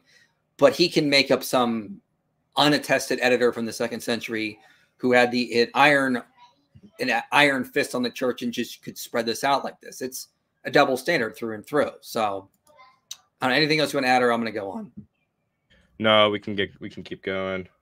Would not have accepted anonymous gospels, then how did Marcionite Christianity happen exactly? In 140s, Marcion of Sinope published a gospel text, which, as far as we know, he never attributed to any author he simply referred to it as Evangelion, good news. It was an anonymous gospel. What followed is exactly what Michael says would have never happened. Marcionite Christianity came to be one of the most popular early Christian movements. Marcionite Christians became so numerous that, for example, Cyril of Jerusalem advised his fellow believers who arrived to a new town to ask specifically for the Catholic Church, because if they just said Christian, they might have been led to the Marcionites you think that Christianity suddenly exploded in popularity soon after Jesus' crucifixion? This is how explosive growth looks like. okay, so here we have a little bit of a problem. We can't trust the church fathers when they say the authors are Matthew, Mark, Luke, and John, but we can trust them about what was going on with the spread of Marcionite Christianity. So he'll select the church fathers to agree with him when it fits his agenda or not. I would point out that the data there actually would contradict this idea. I mean, scholars would estimate that by the time of Constantine, less than 5% of the Roman Empire was Christian, if it was even 5%. Uh, more more likely estimates put about like 3 or 4% from what I've seen. The idea there were entire towns that were Marcionite Christian, very unlikely. This seems to just be church father exaggeration about the spread of heresy, which we know they did. Again, I don't just take the church fathers at their word all the time. I look for evidence to, uh, like multiple attestation, for example, on points of agreement to say, okay, here's a point we can actually say they were right on. When it comes to when Mark was written, there's disagreement. So I'm not going to look at external attestation as reliable on when Mark was specifically written for that case. So it's just kind of a weird little thing. Kamil's being a little selective with the early Christian witness. He can trust him on how explosive Marcionite Christianity was, but he can't trust him on traditional authorship here. Yeah. The other thing I would add is again, Marcionite Christians were very, very different than traditional Christians. Traditional Christians, as we see in church fathers like Irenaeus, uh, Tertullian, put a strong emphasis on let's what are the traditions that have been handed down to us. We're going to include the Old Testament because that's a tradition that's come down to us. Marcionites rejected that. They were much more about what can we we need to find certain things to fit with what we want to believe. So they were rejecting traditions left and right if it did not fit with their already theological conclusions. Than, what were you going to say? Yeah, all I was going to bring up is I don't remember off the top of my head which um, Gnostic groups affirmed traditional authorship and which ones didn't. But if we're going to talk about Gnostic groups, we we can we should talk about the fact that a lot of these Gnostic groups did not dispute traditional authorship, but rather just disputed the interpretations of what these traditional authors said. Um, Irenaeus in Against Heresy says Ptolemy, a heretic who lived around early to mid second century, refers to the fourth gospels written by John, the disciple of the Lord, for instance. So again, it's just kind of like we're being a little selective. It seems like uh, as to what's reliable, what's not, and then what we can take at face value and what's helping traditional authorship and what's not. Um, I think we should take the data as a whole. Yeah. Yeah. Um, and again, I think the Marcionites are going to be a far different sect because, again, the you're talking about very vastly different groups and how they operate and how they worked. It'd be like comparing Christians today to Gnostics today. I mean, if you go if you talk to a Gnostic today, they're going to tell you some pretty wild things. Like uh, I talked to Gnostics that have told me Jesus traveled to Britain to yeah. study Druidism, or that he went to Egypt to study esoteric teachings. I've responded to a guy named Billy Carson who keeps citing the Gospel of the Holy Twelve, that Jesus actually learned Kemetic mysteries in Egypt, and the Gospel of the Holy Twelve is reliable, even though the Gospel of the Holy Twelve is probably only hundred years old or so. Like everyone knows, it's a modern forgery. Uh, Gnostics today are a lot more similar, are going to be much more similar to Gnostics that were the early church was dealing with. These were not people that were going to be necessarily interested in reliable traditions, and we have no evidence they were as interested as in it as someone like Irenaeus was or someone like who Papias was, who says he was getting information from living eyewitnesses. So again, there's going to be a huge, dif- huge different differentiate. We need to differentiate them there too. These are not the same groups. You're comparing apples and oranges. Um, is there anything you wanted to specifically address towards the end, Than? Because I'm, I think for the most part, we've hit most of his main points here. I'm good. And I do want to do the last section though, if you yeah, know what I mean. Whatever, no, whatever you want. um, so yeah, let's go again, we don't have time to address everything. A lot of rabbit trails go off in there, but I do want to talk about his last point before we close this out. Um, so let me go here to 128.45 here because this is sort of him wrapping up and he sort of gish gallops through a couple different things here about why we should doubt traditional authorship. All the various other pieces of evidence for example, how the traditional gospel writers, as they are depicted in the gospels themselves, are unlikely to be literary authors, how they make mistakes about events that they supposedly witnessed, like Matthew and John misunderstood poetic parallelisms in the Hebrew Bible, and okay, so this is what I mean. This is what I said earlier. Yeah. If you're going to tell me that Matthew wrote that Jesus uh, rode two donkeys into Jerusalem, I don't think you're being fair to the text. I don't think you have a bias against what the text says. You're yeah. looking for problems and errors. Stephen Carlson recently wrote two papers on this. uh, there are uh, the Jenny and the Colt in Matthew's messianic entry. And he basically points out this view that Matthew actually claims that Jesus rode two donkeys has fallen out of favor. Most recent scholarship has actually said Matthew's not saying that. He's saying that Jesus sat on the cloaks that they spread across the foal and the donkey. Like, and you see that in all sorts of scholarship. I did a whole video on this. Bernard Batto pointed out Matthew is not misunderstanding Hebrew parallelism. Yeah. What what the argument is is that is that if you read the prophecy in Zechariah 9 9, it says, uh, he shall uh, come in riding a donkey full of a colt. So the claim is that, well, Matthew didn't understand Hebrew parallelism and he thought there were two donkeys there instead of just one. So he has math, so he has Jesus ride two donkeys in. The problem with that view is one is what Bernard Batto brings up. For one, even Dale Allison and uh, Davies are, point out that Matthew in this section is actually quoting directly from the Hebrew. And if he's quoting from the Hebrew, he would have been aware that Zechariah 9 9 uses a masculine word for donkey, not a female word. But what does Matthew have? He says they brought him the donkey uh, and the foal. So he brought a mother and a child, basically, mother and his offspring. If Matthew misunderstood Hebrew parallelism, he should have invented two male donkeys for Jesus to ride in on. He doesn't. He says, he says Jesus rode on the foal and the mother was brought along with them. So scholars like Bernard Batto have pointed out that no, Matthew understood Hebrew parallelism, demonstrated it quite well. It's far more likely that the mother was just sort of brought along to demonstrate the youth of the animal than anything else. So I mean, but this is what I would say just an example of just I don't know, just if you think yeah. that Matthew actually made this error, you're not being fair with the text and you're not up to date with the most recent scholarship on this, like with Bernard yeah. Batto's entry in um I don't know, he wrote it in a um, a book, but I cited it in my video specifically on this recently. Yeah. Um I mean, you hit everything on the head on that one. All I was just going to do is make a joke and say Jesus clearly didn't ride two donkeys like that. He had one foot on each of one of in each of them.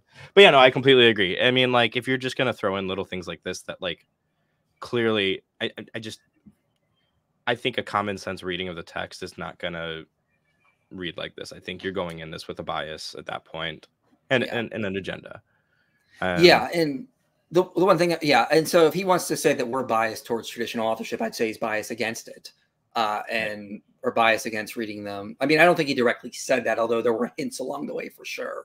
But if he wants to make that argument, I'll just say, well, you're biased against it for whatever yeah. reasons. But and other things he brought up, he brings up, for example, that things I, I forgot the time markers are, but one point he mentions, you know, Papias is unreliable because he mentions this weird tradition about Judas getting really fat and blowing up kind of thing. Uh, yeah. Stephen Carlson actually wrote a book on this on his book, his book Papias of Hierapolis. Uh, he makes the case that no, pa- Papias did not actually say that.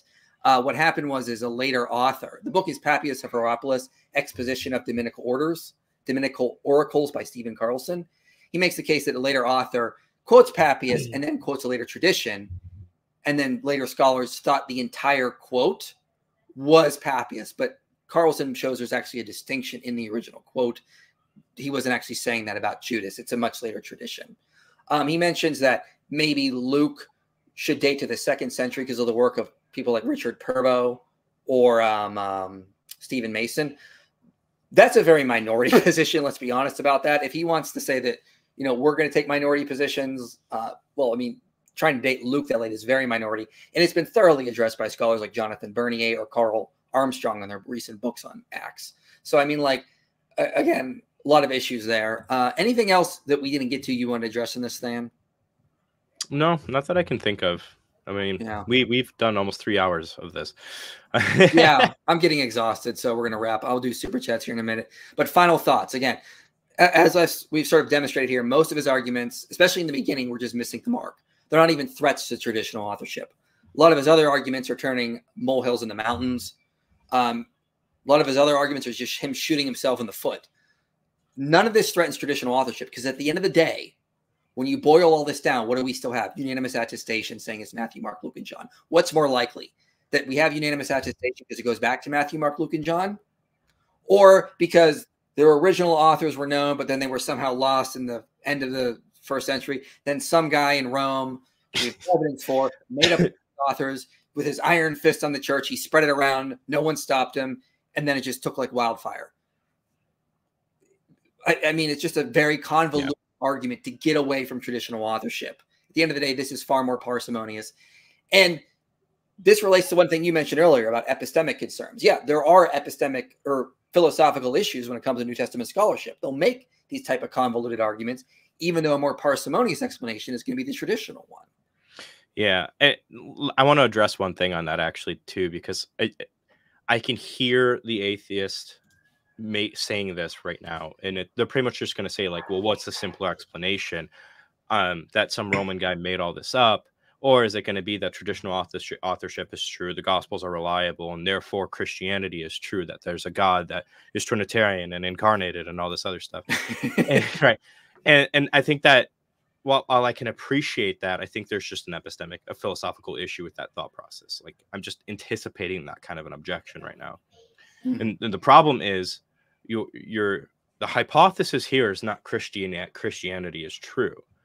An entailment or I don't want to say an entailment, but what the, the issue is that our hypothesis about traditional authorship and the reliability of the gospels makes it much more likely that Christianity is true.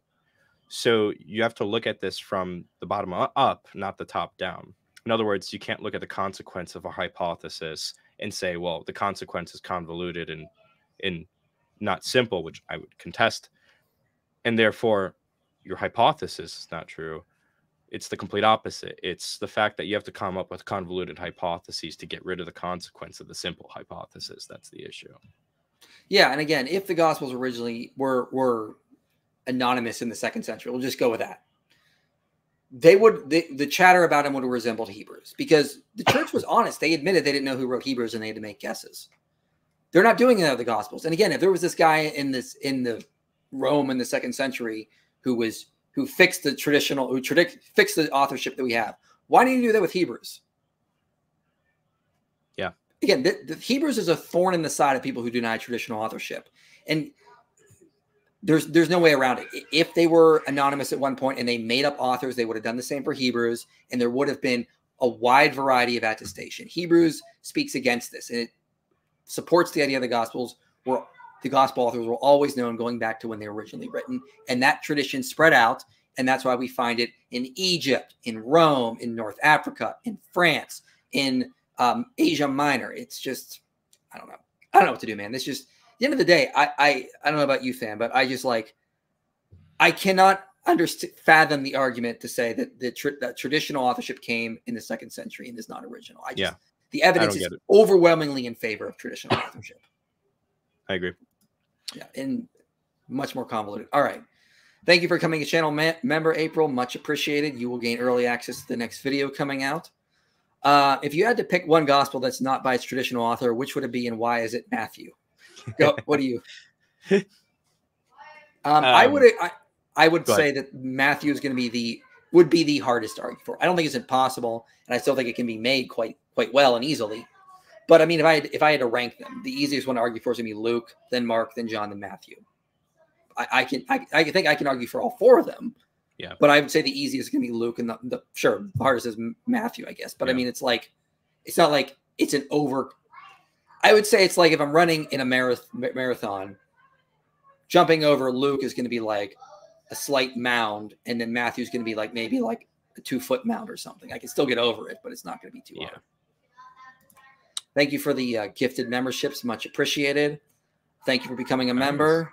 Thank you for becoming a member. Oh, thank you for the gifted wow. memberships. Thank you for that.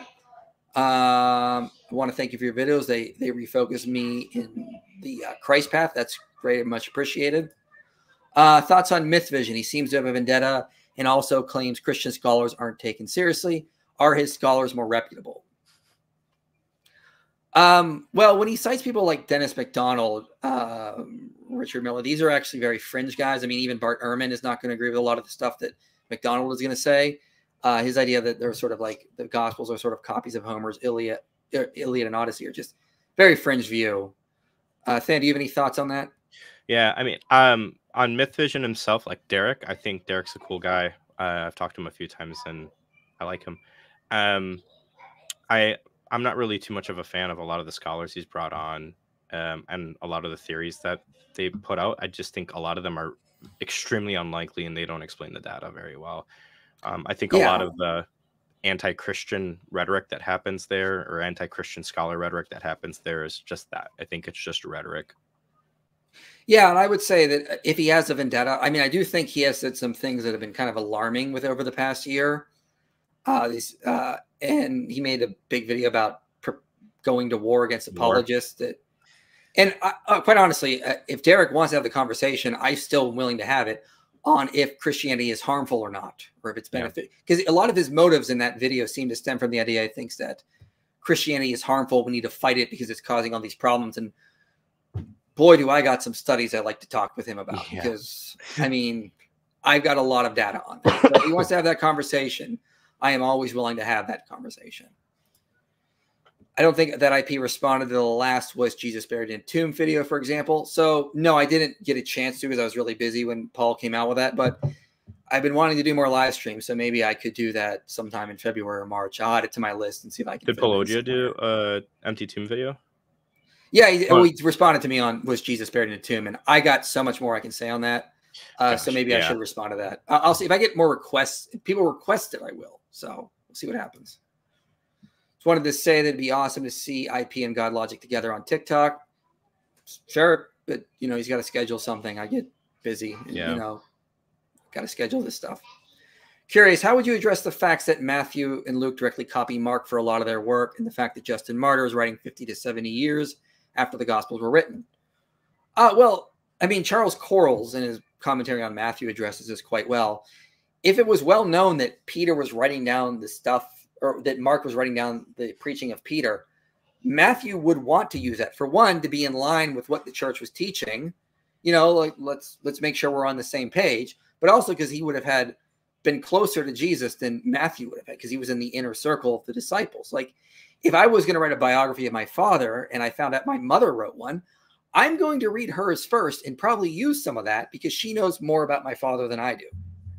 That just makes sense from any sort of a, uh writer standpoint. Uh, so I don't see this as an issue at all.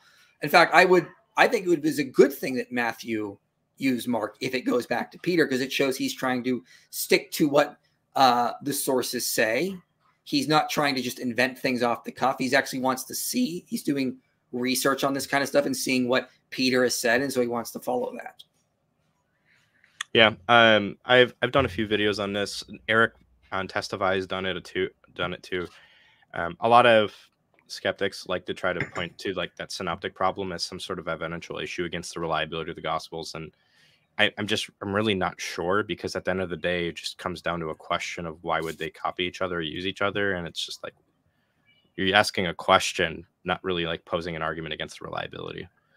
Yeah, I mean, I I remember talking with Mike Licona, and he said, you know, his idea was that maybe, uh, I mean, of course, we're speculating here, but maybe Matthew is the one who actually wrote the Q document, and then he got a hold of Mark's gospel. He's like, you know, I like this idea. Let me take what I've already written in Hebrew and then make a Greek version, combining what's already here, and then make his own version of it. So I don't see that as much of a problem. Speaking of authorship, a particularly insufferable atheist named Shane Killian called at least part of the New Testament unreliable. His video title filtered is called "The Dumb Refutes Itself." I'll I'll take a look. I'll see if I can get to that. Thank you for the uh, super sticker, much appreciated. If you grant the anonymity theory, what happens to Christianity? What are your thoughts, Sam? Nothing. Yeah, I, I don't think a big problem because a lot of the arguments I'd use for the reliability of the Gospels is internal evidence. I mean, this was just one video I did, a part of a full series where, so Yeah. I, it's not a huge deal, but I think it, it it does raise the probability of Christianity being more yeah, I, I- yeah. I was being a little hyperbolic there. Like, sure, it might hurt the case a little bit, but at the end of the day, I think what's way more important is are the gospels like sourced by people close in time to the life and ministry of Jesus? Are they trying to report like a historical reportage? Yes or no? If yes, cool. Jesus should have wrote a gospel himself, unchange. Okay. Uh, I mean, he didn't need to. Uh, you know, here's the thing. Here's what I say to people like this. So, if Jesus is God, he, he can see the future out.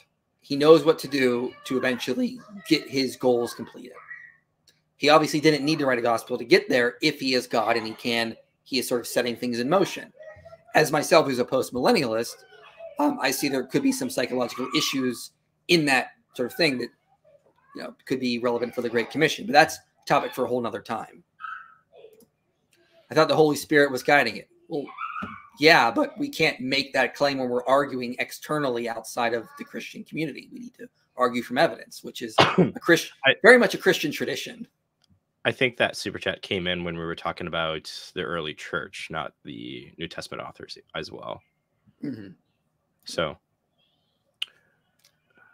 if we interpret them correctly, the point of later Christians editing multiple Johns and Marks is to show that there is not a clear preserved apost- apostolic tradition, but pieces of info that they speculate on to fill out. Uh, first of all, if we grant that, then we still have these different pieces of tradition showing up across the Roman world, all in agreement still. So we have multiple attestation to these traditions being reliable. And again, what what is the arguments going on? Was the Gospel of John written by John, a disciple of Jesus? Well, internally, John says it was someone who was witness to Jesus, and it externally identifies it as someone as John. I, I, don't see that as much of a problem if we're not sure if it's John the son of Zebedee or John the elder. It's still John, a disciple of Jesus. So I'm kind of confused on what you're asking here, Grays. Uh, Than, what are your thoughts? Do you, you get what he's saying? Um, yeah, it's just about Kamil's argument about the differences in like which John it was or which market it was. Um, because at the in the end of the day, right, like we were saying, we're we're fine, even if we do grant that there's not a clear tradition about which John or which market it is. The clearness is the clearness is that it was somebody close in time, close to the time and place of Jesus. Right. Um, and so that's the clearness. At the end of the day, it's like we know it was a Mark that was close to Jesus. and was an interpreter of Peter. We know it was a John who was close to Jesus, who was a disciple. Yeah, and again, most of the evidence you or I would use for the reliability of the Gospels is going to be internal evidence, not this external attestation. Yeah. The only thing I really use ex- for the external attestation is the four traditional authorship, because again, it's unanimous when it comes to that. Maybe Ehrman was part of the Johannine community. well, I'm not sure what that was specifically uh, addressed, but yeah. Um, why am I cooler than you? Shannon Q says. Well, Shannon, you're definitely cooler than Than, but that's not saying. Yeah, much. all right. You're all right. You're cooler than me. I'll give you that because you have the much wittier comebacks, and I I kept trying not to laugh with some of the funny things you were saying in there, and I'm trying to not put it on the screen because I don't want to distract the guests. But yeah, you're cooler than us because you're a you're a woman, and women are obviously cooler than men. Actually, no. I will say no. Wait, no. I was going to make the joke, and I'm. A, I would say that you may be cooler, but we're. But if you're cooler, scientifically, we're hotter. So think of it like that. Yeah. So you can be cooler all you want, Shannon. Science. That means we're hotter. All right. Hey, real quick, man. I have to get going because my wife needs to leave and the kids are. Yeah, go for it. I got a couple more super chats, but yeah, thanks for coming on. Thanks for having me on. Catch you later. Catch you later. Talk to you. All right. Are you keeping an eye out for capturing Christianity's video series about the reliability of the New Testament? Speaking uh, of other YouTube channels, do you remember Cartesian Theist? Do you know what happened to him? Um, so well, a lot there. okay. Um, let me yeah I, I, am following the series. I think it's pretty good so far. I'm also working on my own series which will probably be a little bit more in depth because it'll be 11 parts uh overall. But yeah i think it's going good so far. I like the guys he's interviewing. I had already gotten some of the books of the authors he's mentioning and i got more as well. So yeah i think it's great. I definitely think it's going well so far but look forward to more conversation around that. In terms of your second question that is a whole can of worms, sir. uh, so he had a dispute with another atheist YouTuber, and the atheist YouTuber released some information about him that was kind of damning, showed him doing some things he shouldn't have done. So, and the, you know, no one's perfect. I think the honorable thing is that uh, Cartesian Theist took down his channel and said, you know what, I'm out because what not perfect. I made some mistakes. Just I'm out. So that's kind of what happened. That's that's that's the surface understanding of a very complicated, long episode going on, and it's it's not for me to go too deep into that because it's I don't want to misrepresent what one side is or spread gossip. So it's just look, he did some things he wasn't proud of, took down his channel, said, "Look, I'm just gonna, I'm not, I'm not in this anymore. It's, I'm obviously not helping the cause." And I think that's it's, it's an honorable thing to do. You know, if a pastor messes up, he steps down from ministry. That's just pretty standard. Matthew comments so often four times in chapter 2 alone fulfilled or just like jesus said strange nothing about temple destruction if post 70 ad from matthew yeah and the scholarship is actually moving in that direction from what i've seen the idea that uh, the fact that the synoptics talk about the destruction of the temple or jesus predicting it is not evidence to post date the destruction of the temple uh, a lot of scholarship has moved in that direction as of late in the past few decades. Uh, check out Michael Patrick Barber's work on it in his book, The Historical Jesus in the Temple, where he talks about the scholarship surrounding this. That it's very likely Jesus did make that prediction.